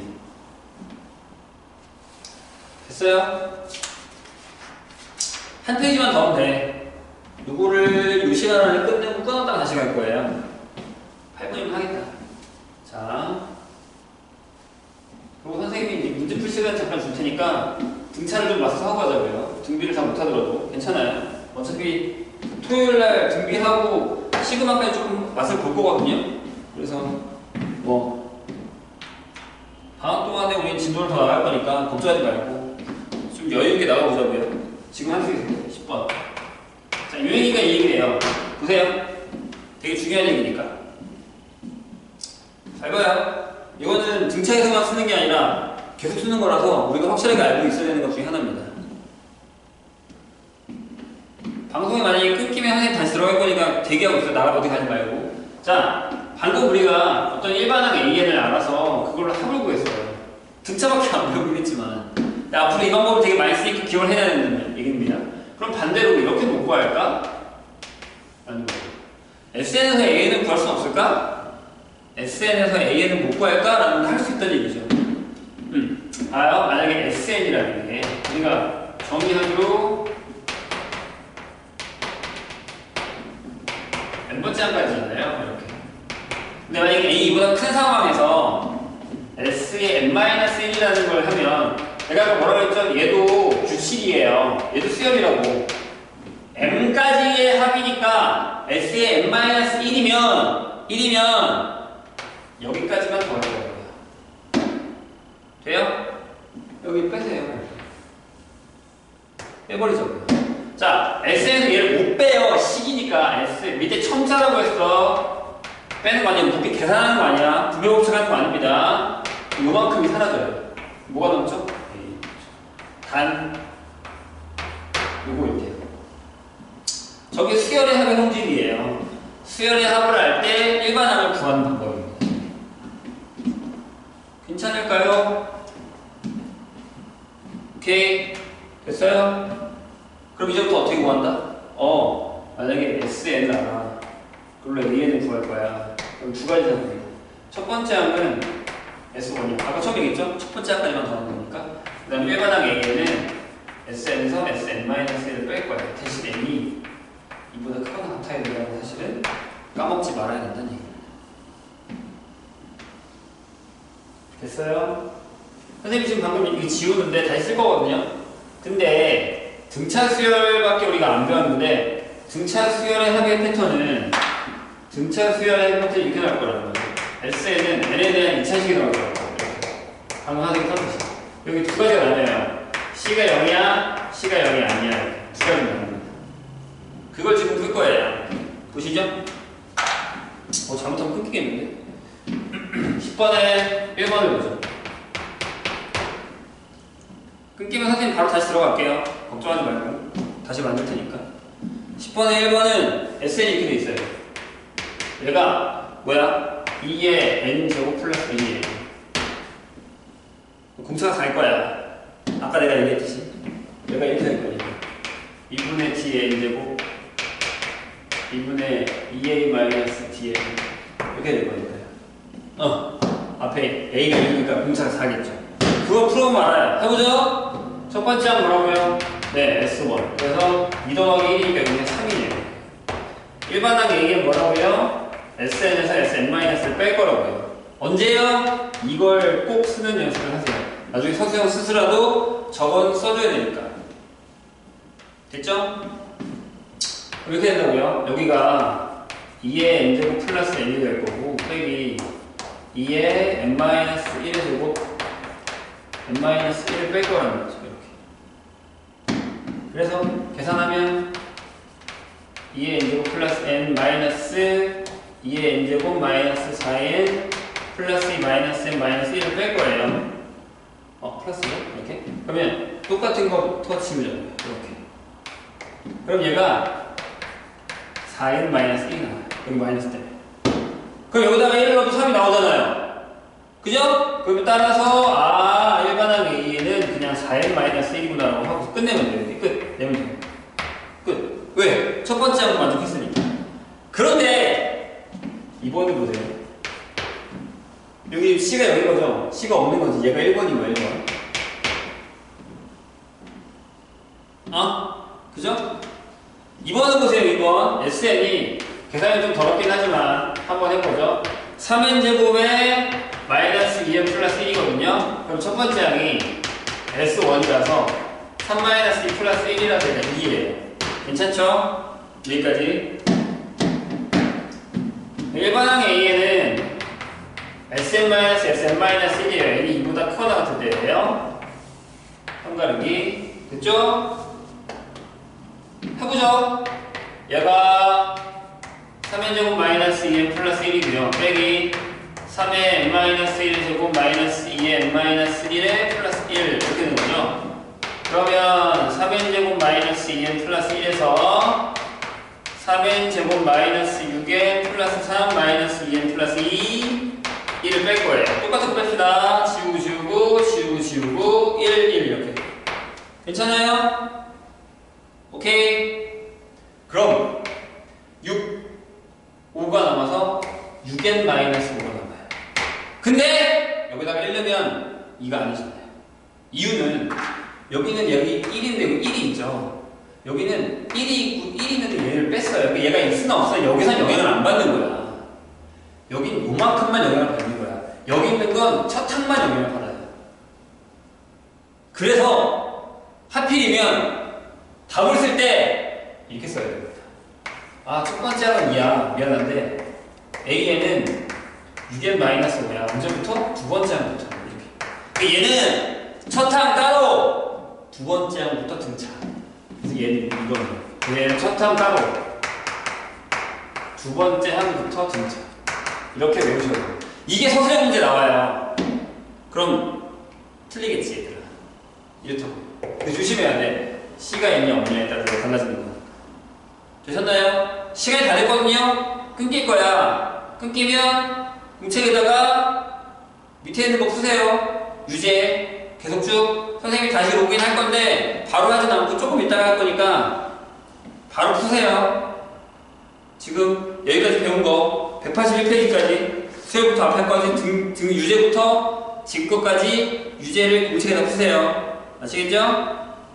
오케이? 그 다음에 좀 이따 질문 받을게요.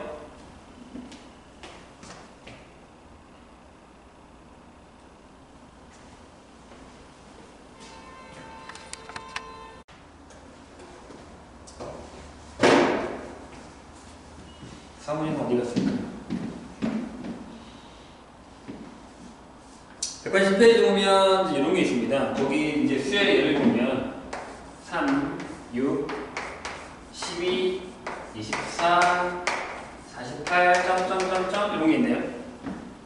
96까지 있네, 그죠? 이거는 우리가 아까 선생님이 규칙을 얘기했을 때 두 번째 규칙입니다. 뭐냐면 곱셈, 어, 규칙이 없다는 것처럼 보이나? 곱셈, 곱셈입니다. 어떻게 해요? 네. 앞에 숫자에다가 1 곱하고, 그 다음 숫자에다가 1 곱하고, 그 다음 숫자에다가 1 곱하고, 그 다음 숫자에다가 1 곱하고. 이런 식으로 가겠다는 얘기죠. 돼요? 음. 일반항 따지면, 첫 번째 항, 두 번째 항, 세 번째 항, 네 번째 항, 다섯 번째 항이 이렇게 있어요. 그러면 똑같은 걸 곱하겠다는 얘기입니다. 이거는 비율이라는 뜻의 첫 글자를 R을 곱합니다. R 곱하기 R 곱하기 R 곱하기 R을 하겠다는 얘기죠. 나는 또 번호를 달았을 때 1번이야, 두 번째 거야, 세 번째 거야, 네 번째 거야, 다섯 번째 거야를 하고서 n 번째 거야를 했을 때 A, N으로 결정을 하면 그죠? 어, 그럼 얘는 뭘까라는 거죠. 자, 한 번에서 조금 더 쉬울 수도 있어요. 규칙성이라는 게 적용이 되면 될수록 나한테 쉬운 걸 수도 있기 때문에. 그래서 얘를 보니까 얘는 처음에 A야. 아, R을 곱했으니까 얘가 AR이네. R을 곱했으니까 AR의 제곱이야. 여기 지수 계산이 꼭 들어가요. 네 번째 거 AR의 세제곱, 세 개 곱했고, 어, 다섯 번째 거 AR의 이제 네 이런 식으로 되거든요. 그래요? 그럼 얘는 딱 봐도 봐요. 1일 때 R이 없어, 2일 때 R이 하나 곱해져, 3일 때 R이 두 개 곱해져, 4일 때 R이 세개 곱해져. 규칙상으로 따지면 같은 얘기잖아요, 결국에. 무슨 얘기냐면 등차에서도 n번째 거는 D를 n-1번 더해. 공비는 등비는 n번째 거는 A에다가 R을 n-1번 곱해. 가 되는 거니까 그래서 얘가 R의 n-1이 되는 거죠. 그래서 등비 수열의 일반항 A에는 첫 항에다가 R을 n-1번 곱해. 이런 얘기가 된다는 얘기죠. 되실까요? 뭔 얘기인지? 어, 그래, 그 얘기예요. 그래서 우리는 여기서 역시 똑같이 이걸 첫 번째 항이라고 얘기하고요. 이 녀석을 뭐라고 하냐면 공비라고 합니다. 공비. 사이의 비율이다. 등비, 같은 비율을 가지게 된다. 라는 얘기죠. 여기서도 우리가 알 수 있는 건 이거예요. 봐요. 어, A, M 플러스 1. 다음 항은 그 전의 항에다가 어떤 숫자를 곱해서 넘어가는 거야. R을 곱해서 그 다음 항. 예를 들면 1에다가 첫 번째 항에다가 곱하니까 두 번째. 두 번째 항에다가 곱하니까 세 번째. 이렇게 넘어간다는 얘기죠. 이 얘기 다시 얘기하면 AM분의 AM 플러스 1이 일정한 숫자가 된다. 같은 비율을 가진다. 라는 얘기가 되는 거죠. 이걸 우리는 공비라고 하고 이거를 등비 수열이라고 얘기를 합니다. 이해가 되세요? 뭔 얘기인지? 이 얘기예요, 이 얘기. 이 얘기를 우리는 하고 싶은 겁니다. 여기 볼까요? 자, 첫 번째 항이 상이에요.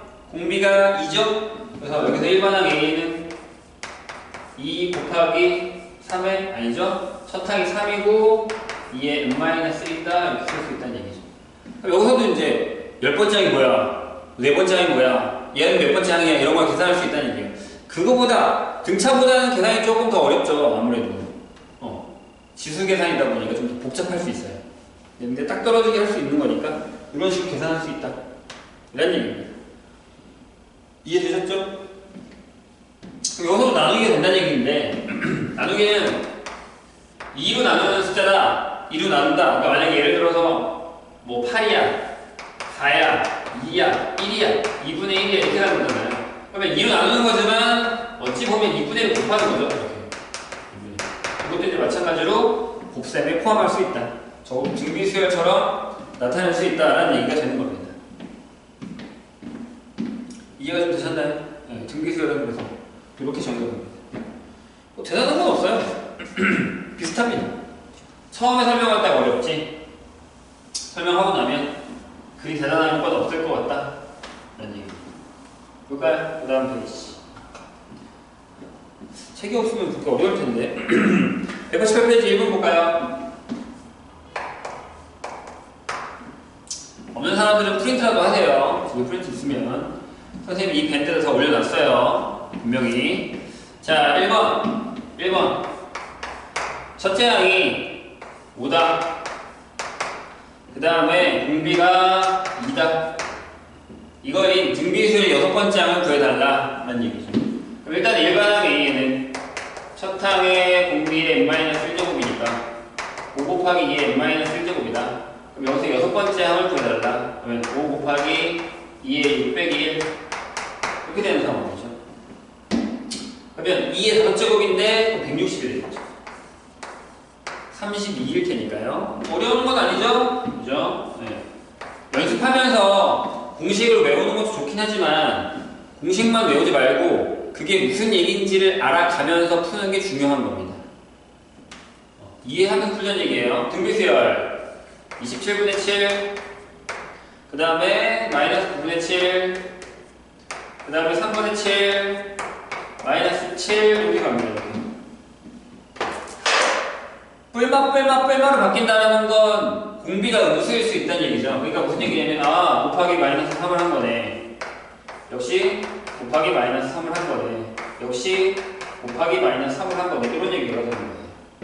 그럼 일반항 AN이 27분의 7을 하고 마이너스 3의 n-1입니다. 이걸 어떻게 지수는 바꿀 생각은 안 하셔도 됩니다. 어차피 들어가봐도 비슷한 얘기라서 그냥 이 상태로 두는 게 가장 좋아요. 일반항은 구했습니다. 그 다음에 여덟 번째 항입니다. 여덟 번째 항. 그러면 27분의 7하고 마이너스 3의 7제곱이거든요. 이렇게. 마이너스 나왔겠죠? 그럼 7 곱하기 마이너스 3의 4제곱 마이너스를 끄집어낼까요? 3개를 없앤 거니까 마이너스 7 곱하기 3의 4제곱을 하면 되겠죠. 267 마이너스 마이너스 부호 조심하시고 세 번째 거 볼까요? 자, 세 번째 일반항이 일반항이 2 곱하기 3의 n제곱으로 주어진 수열이 등비 수열임을 보여라 하는 거죠. 그래서 그냥 어떤 한 사람들은 이걸 이렇게 쓴 예전에는 심지어 이게 소설 문제 나온 적도 있어요. 그럼 이렇게 써요 그냥. 어, 선생님 이거 6 곱하기 3의 n-1이니까 첫 번째 항이 6이고 공비가 3이에요 라고 쓰면 좋죠. 이렇게 쓰면. 근데 진정 있는 답은 제대로 된 답은 이겁니다. 아마 이런 문제를 내려면 학교에서 선생님들이 이런 부분에 대한 설명을 할 때 확실하게 이 부분을 짚고 넘어갔을 거예요. 어떻게 설명했냐면 이렇게 1을 넣으면 어떻게 되죠? 네, 2 곱하기 3의 1제곱은 이게 6이죠. 첫 항은 구했어요. 공비는 어떻게 구한다고요? 이렇게 구합니다. 공비는 an 분의 an 플러스 1제곱 이런 식으로 이게 일정한 숫자가 나와야 되는 거니까 an은 그럼 이거죠. 2 곱하기 3의 n제곱이고 거기는 2 곱하기 3의 n 플러스 1제곱이죠. 정의대로 간다는 얘기예요. 그럼 3이 남아요. 따라서 라고 씁니다. 첫째 항이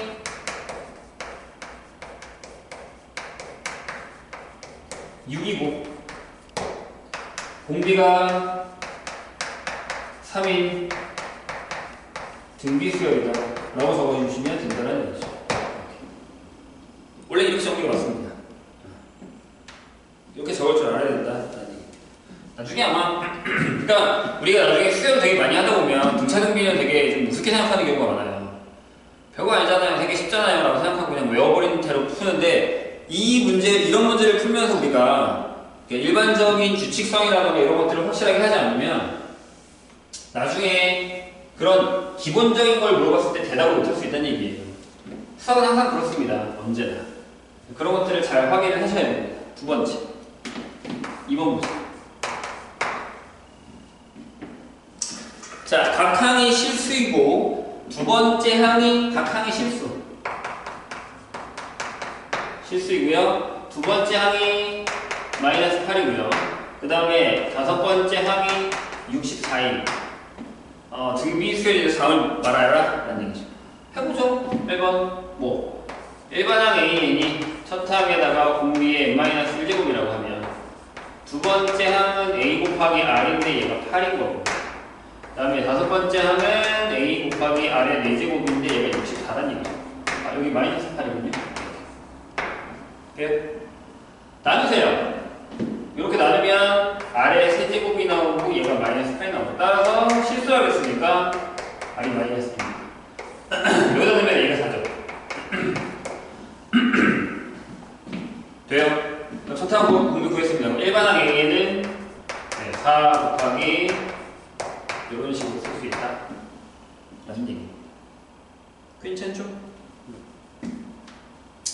아홉 번째 할 거라면 2번. 아홉 번째 항. 제 아홉 번째 항은 이거겠죠? 4 곱하기 마이너스 2의 8제. 1공이 4겠죠? 2의 10제곱일 테니까. 자, 마이너스, 만약에 K번째 항이 마이너스 800, 8190이다. 그러면 K번째 항이라는 건 이거잖아요. 4 곱하기 마이너스 2에 K 마이너스 1제곱인데 얘가 마이너스 1000, 8192 마이너스 2에 K 마이너스 1제곱이 4로 나누면 2, 0, 4, 8이 되죠. 마이너스네. 마이너스. 근데 이게 11제곱입니다. 따라서 K는 12겠죠. 조심 끝까지 계산하는 겁니다. 그래서 제 12번째 아니다. 어렵지 않죠? 넘어갑시다. 세 번째.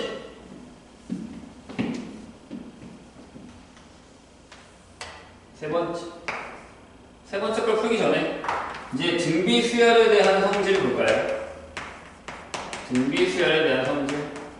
아까처럼 등차 수열 성질에서처럼 등비 수열의 성질은 이렇습니다. 일단 일반항을 보면 첫 항에다가 공비의 n-1 그러니까 어떤 숫자의 이런 형태가 나오게 되면 아까도 왜 이런 거 나왔잖아요. 일반항 AN이 뭐 2 곱하기 3의 n제곱인데 이걸 이렇게 나타내가지고 등차 등비를 확인하라 아니 등비 공비량 첫 항을 확인하라 약간 이런 형식으로 문제가 나오잖아요. 그런 것처럼 이런 지수 형태가 나와요. 합도 약간 비슷해요. 그래서 그러니까 어렵지 않은데 이건 첫 번째고 이제 두 번째 걸 따지면 여기도 등비 중앙이 있겠죠? 등비 중앙.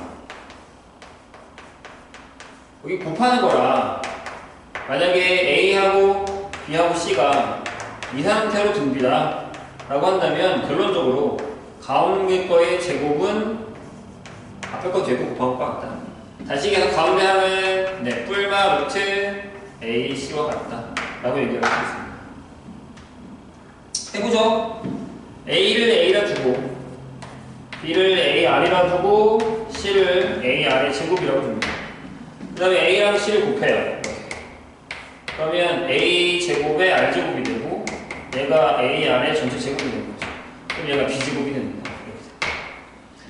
어, 간단한 걸로 한번 예를 들어 볼까요? 보세요. 1, 2, 4, 8, 16, 32 이런 수를 두세요. 20 곱하는 거예요.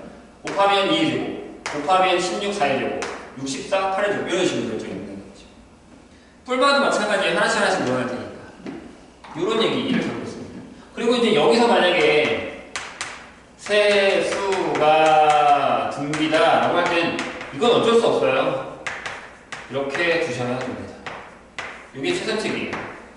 뭐 곱셈만 한다면야 R분의 A로 나도 상관없지만 곱셈도 저거 풀면 잘 나오거든요. 그러니까 그냥 저거는 등차처럼 하나를 빼고 하나를 나누기 시작하는 건 절대 뭐 쓸모가 없습니다. 제가 보기에. 선생님이. 되셨죠? 자, 문제를 풀어볼까요? 3번 등비주광이네요. 자, 다음 누르면 답하라. 1번에 세수 1하고 A하고 B는 이 상태로 등비. 아마 등차, 어, 등차군요. 이 상태로 등차. 등차랑 등비를 섞었을 거예요. 그리고 세수 A하고 B하고 1은 A 이 상태로 등비. 뭐예요? 거꾸로 써주죠. 그죠? 어, 이럴 때 1이 아닌 수 A, B의 값을 구하여라. 1, 같은 경우 있잖아요. 1하고 1하고 1하고 1하고 이렇게 하는 숫자 있죠. 이건 등차도 되고 등비도 되는 거예요. 0씩 더하면 등차. 1씩 곱하면 등비. 이렇게. 그러니까 1, 1을 빼겠다는 얘기죠. 그러면 위에 주어진 조건에 의해서 등차니까 가운데 거 두 배는 이게 되겠죠. 여기는 가운데 거 제곱이 A가 되죠. 그러면 어, A 자리에다가 B 제곱을 넣으세요.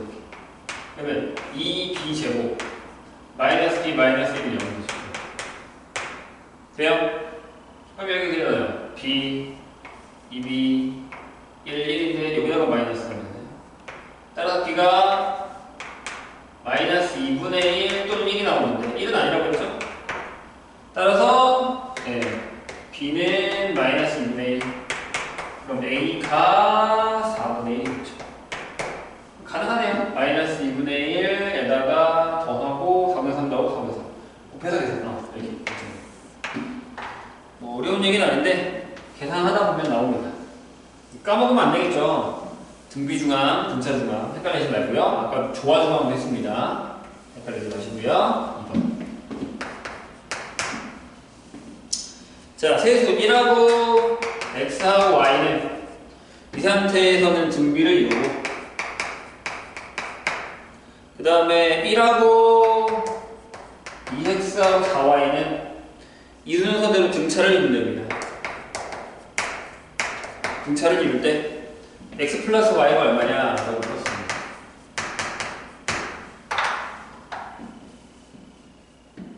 등비는 x제곱이니까 얘가 y가 될 거고 등차는 2배니까 4x가 1 플러스 4y가 되겠죠. 등차니까요. 아, y에다가 x제곱을 집어넣으면 되죠, 이렇게. 그죠? 그럼 얘가 4x 제곱이에요. 넘어가서 마이너스 4x 플러스는 0이니까 아, x가 바로 나오고 2분의 1이라고. y가 네 4분의 1 이런 상황이 되는 거예요. 됐나요? 답은 딱 맞네요. 집어넣은 거니까. x 플러스 y가 네 4분의 3이 됩니다. 되게 어려운 문제는 아니죠? 좋아요. 191페이지 보죠. 191페이지. 예, 연습을 많이 하시고요. 선생님이 그 센을 줬는데 센도 잘 보시고요. 그 다음에 어 아마 대부분의 선생님들 교재를 선생님 확인했는데 보니까 마플 교과서로 나가는 반이 많아요. 어, 이것도 갖고 계시고요. 뭐 안 되면 내가 이것도 수업을 할 거니까 마플 교과서로 나가는 반이 많아요. 그래서 마플 교과서를 미리 좀 사놓으세요. 마플 시너지는 아마 선생님 줄 거예요, 대부분들. 아니, 나 같은 경우는 줄 거거든요. 그러니까 마플 시너지는 뭐 주시고 마플 교과서는 사주시는 게 좋을 수 있어요. 미리 사주세요, 미리. 4번 활용 문제입니다. 자, 연속하는 사 아까 선생님이 얘기했죠? 직육면체 세로 가로 높이가 각각 이 순서로 등비수열을 이룰 때 가로 세로 높이네요. 가로 세로 높이면 높이가 제일 큰 거네. 이렇게 쓰면 되겠다, 그죠?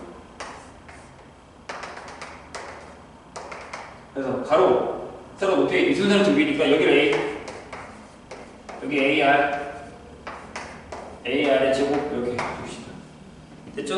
그랬더니 각 모서리의 총합이 84. 모서리의 총합이면 모서리 몇 개씩 있어? 4개씩 있어. 4개. 얘가 84. 키 하나 나오죠? 그 다음에 건널비가 210. 부피가 얼마냐? 라고 물었습니다. 건널비.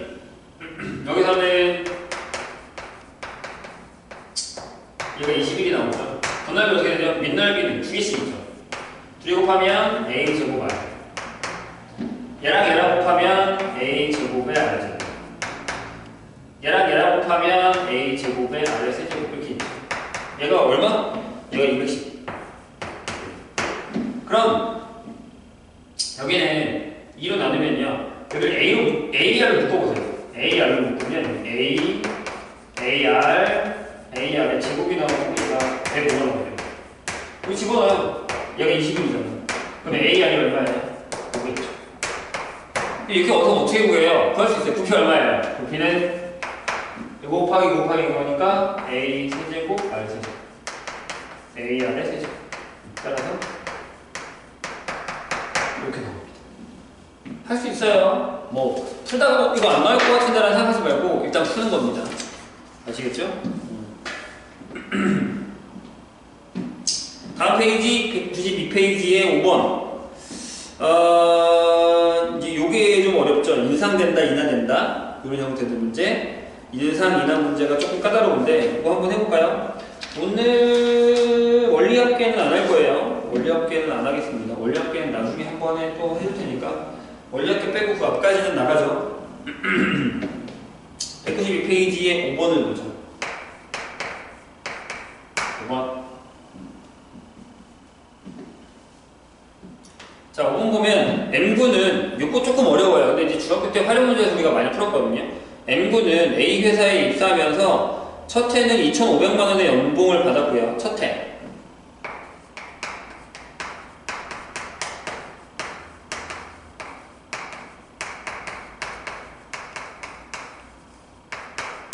얘들아 2,500만 원이라고 해도 연봉이 되게 적은 거예요. 생각해보세요.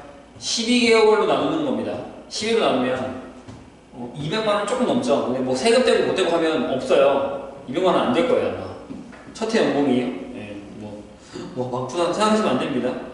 연봉이 그래도 연봉이 그래도 한 6천 원 돼야 돼요.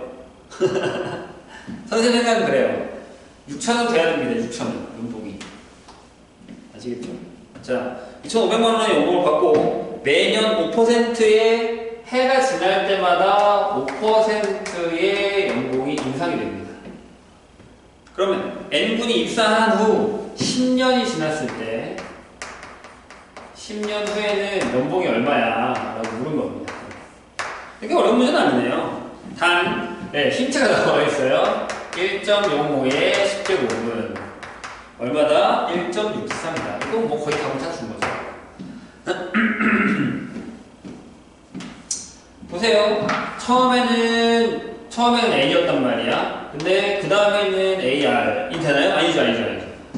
5%가 곱해진다는 게 아니라 원래 자기 5% 퍼센테이지가 X 퍼센테이지가 만약에 인상이 된다고 한다면 여기다가 여기 곱하기 100분의 X가 되는 거예요. 그러니까 이게 음, A의 1 플러스 100분의 X가 되는 거죠.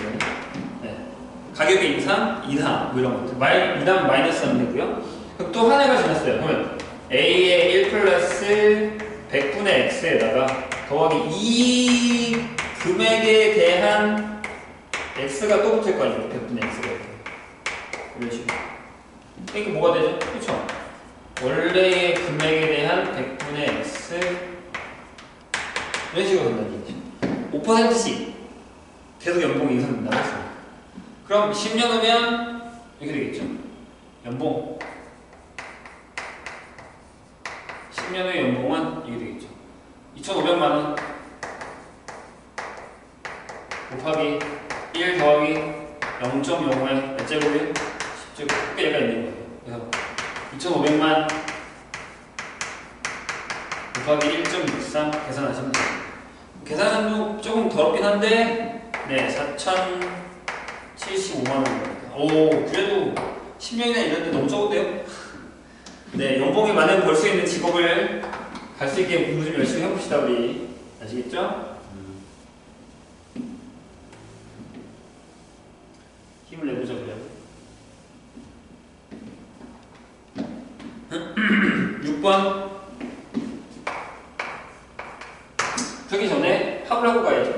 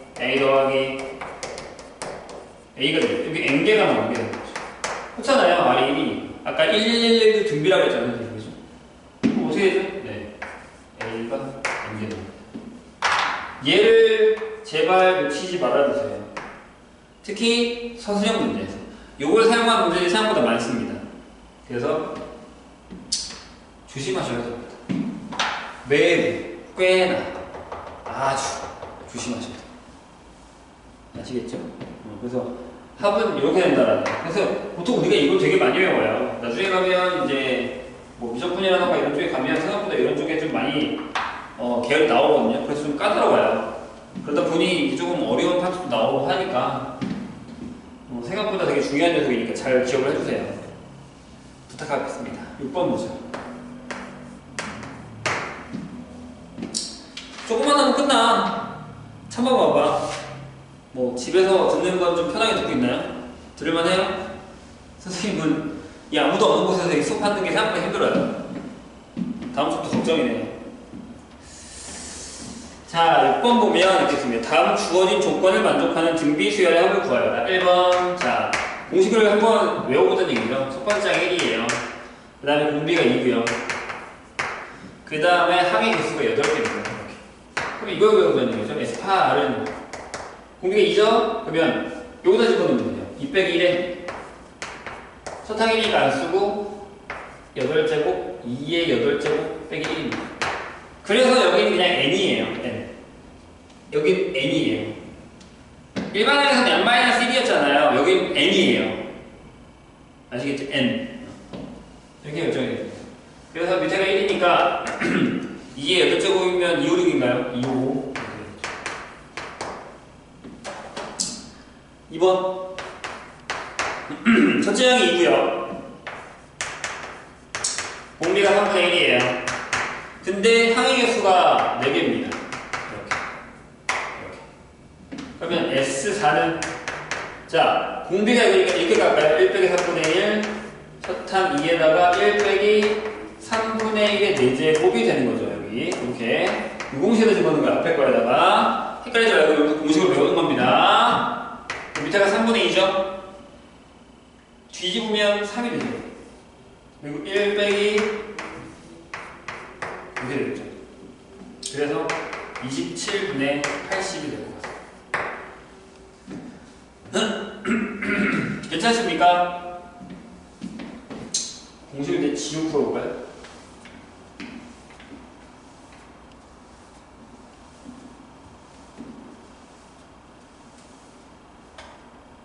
삼번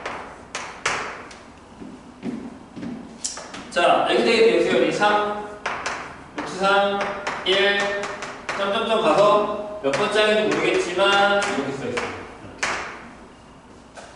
일반항을 보내겠죠. 첫 번째 항이 3이고요.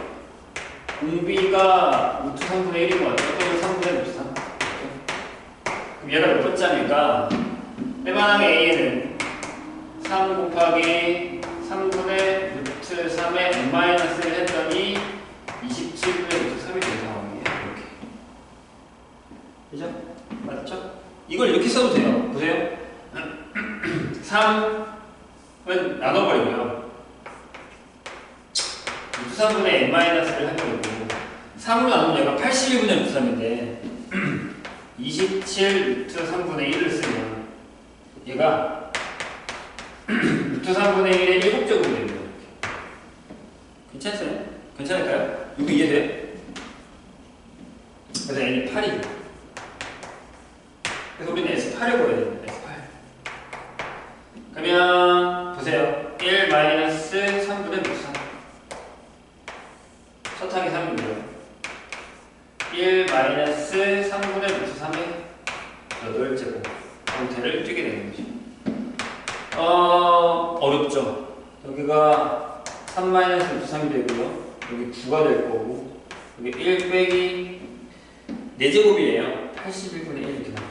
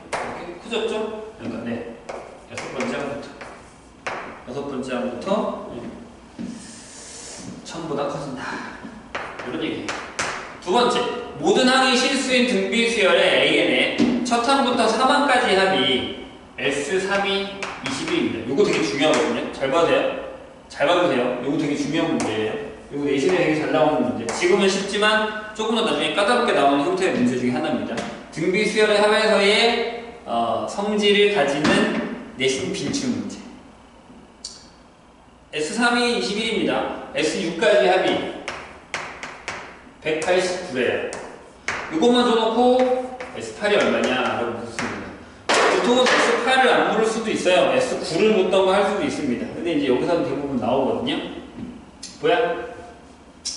S3이면 이거죠.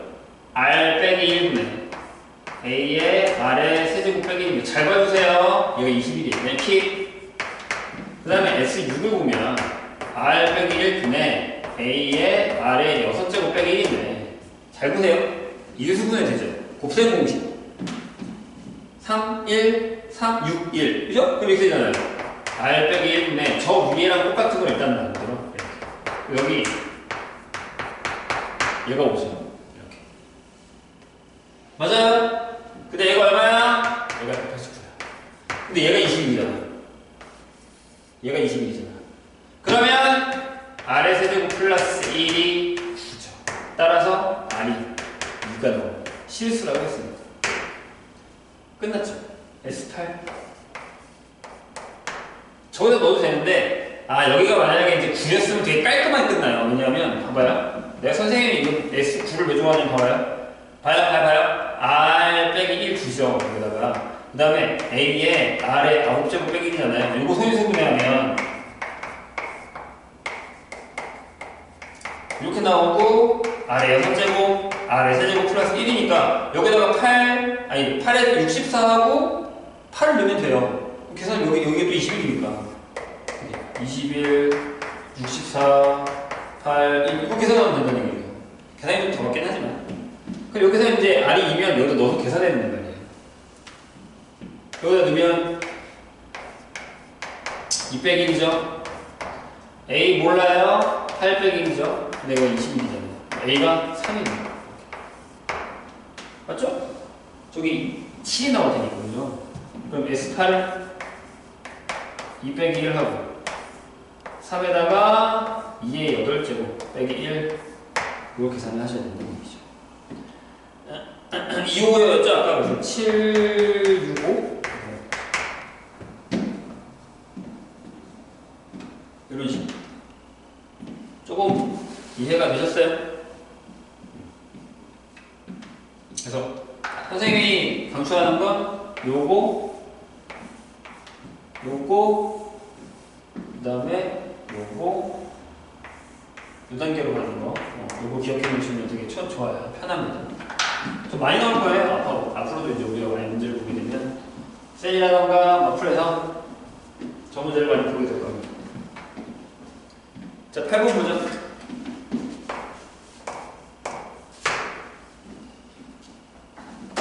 자, 첫 번째 항부터 연합까지 합이 SN이요.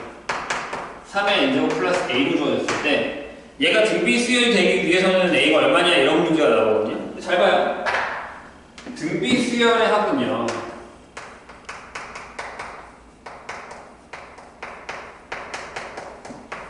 SN은요.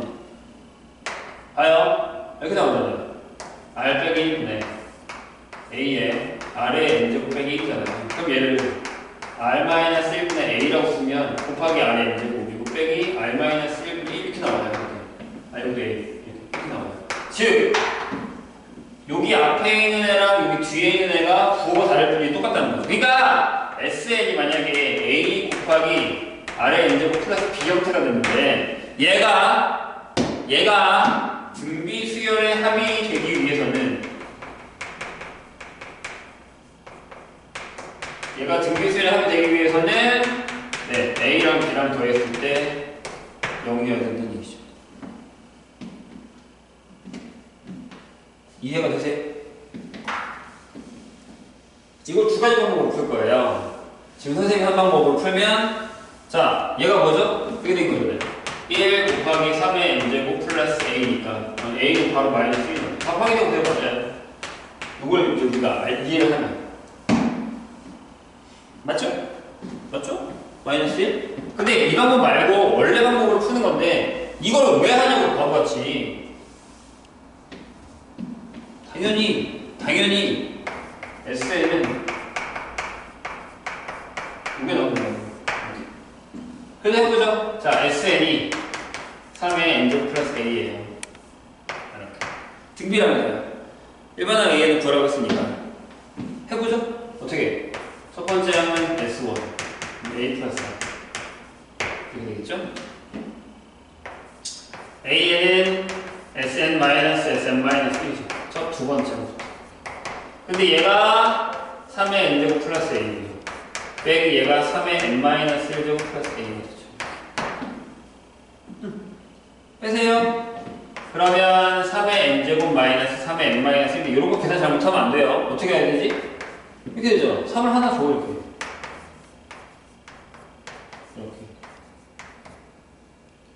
얘가 3개 있는 데서 1 뺐으니까 그렇죠. 이거 2 곱하기 3의 n-.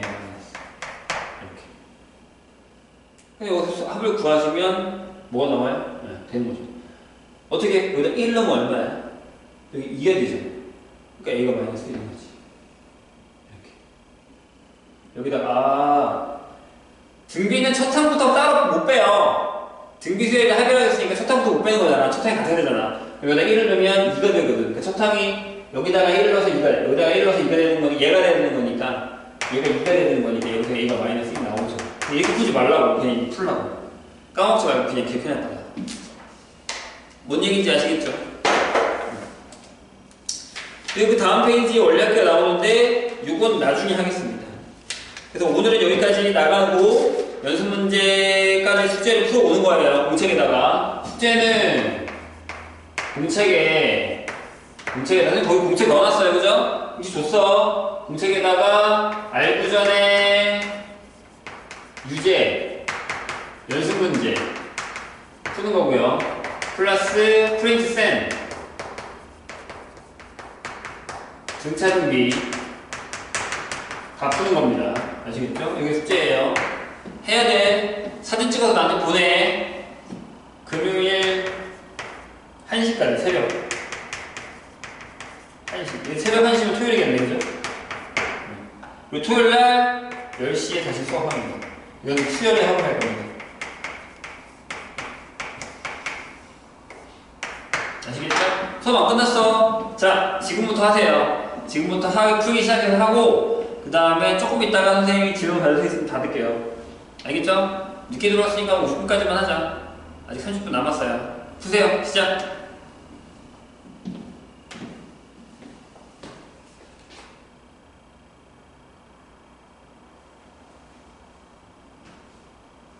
상훈이 아직도 안? 이거. 상훈이 아직도 없니? 상훈이는 손을 계속 안. 이씨, 어디 새끼 이거 켜놓고.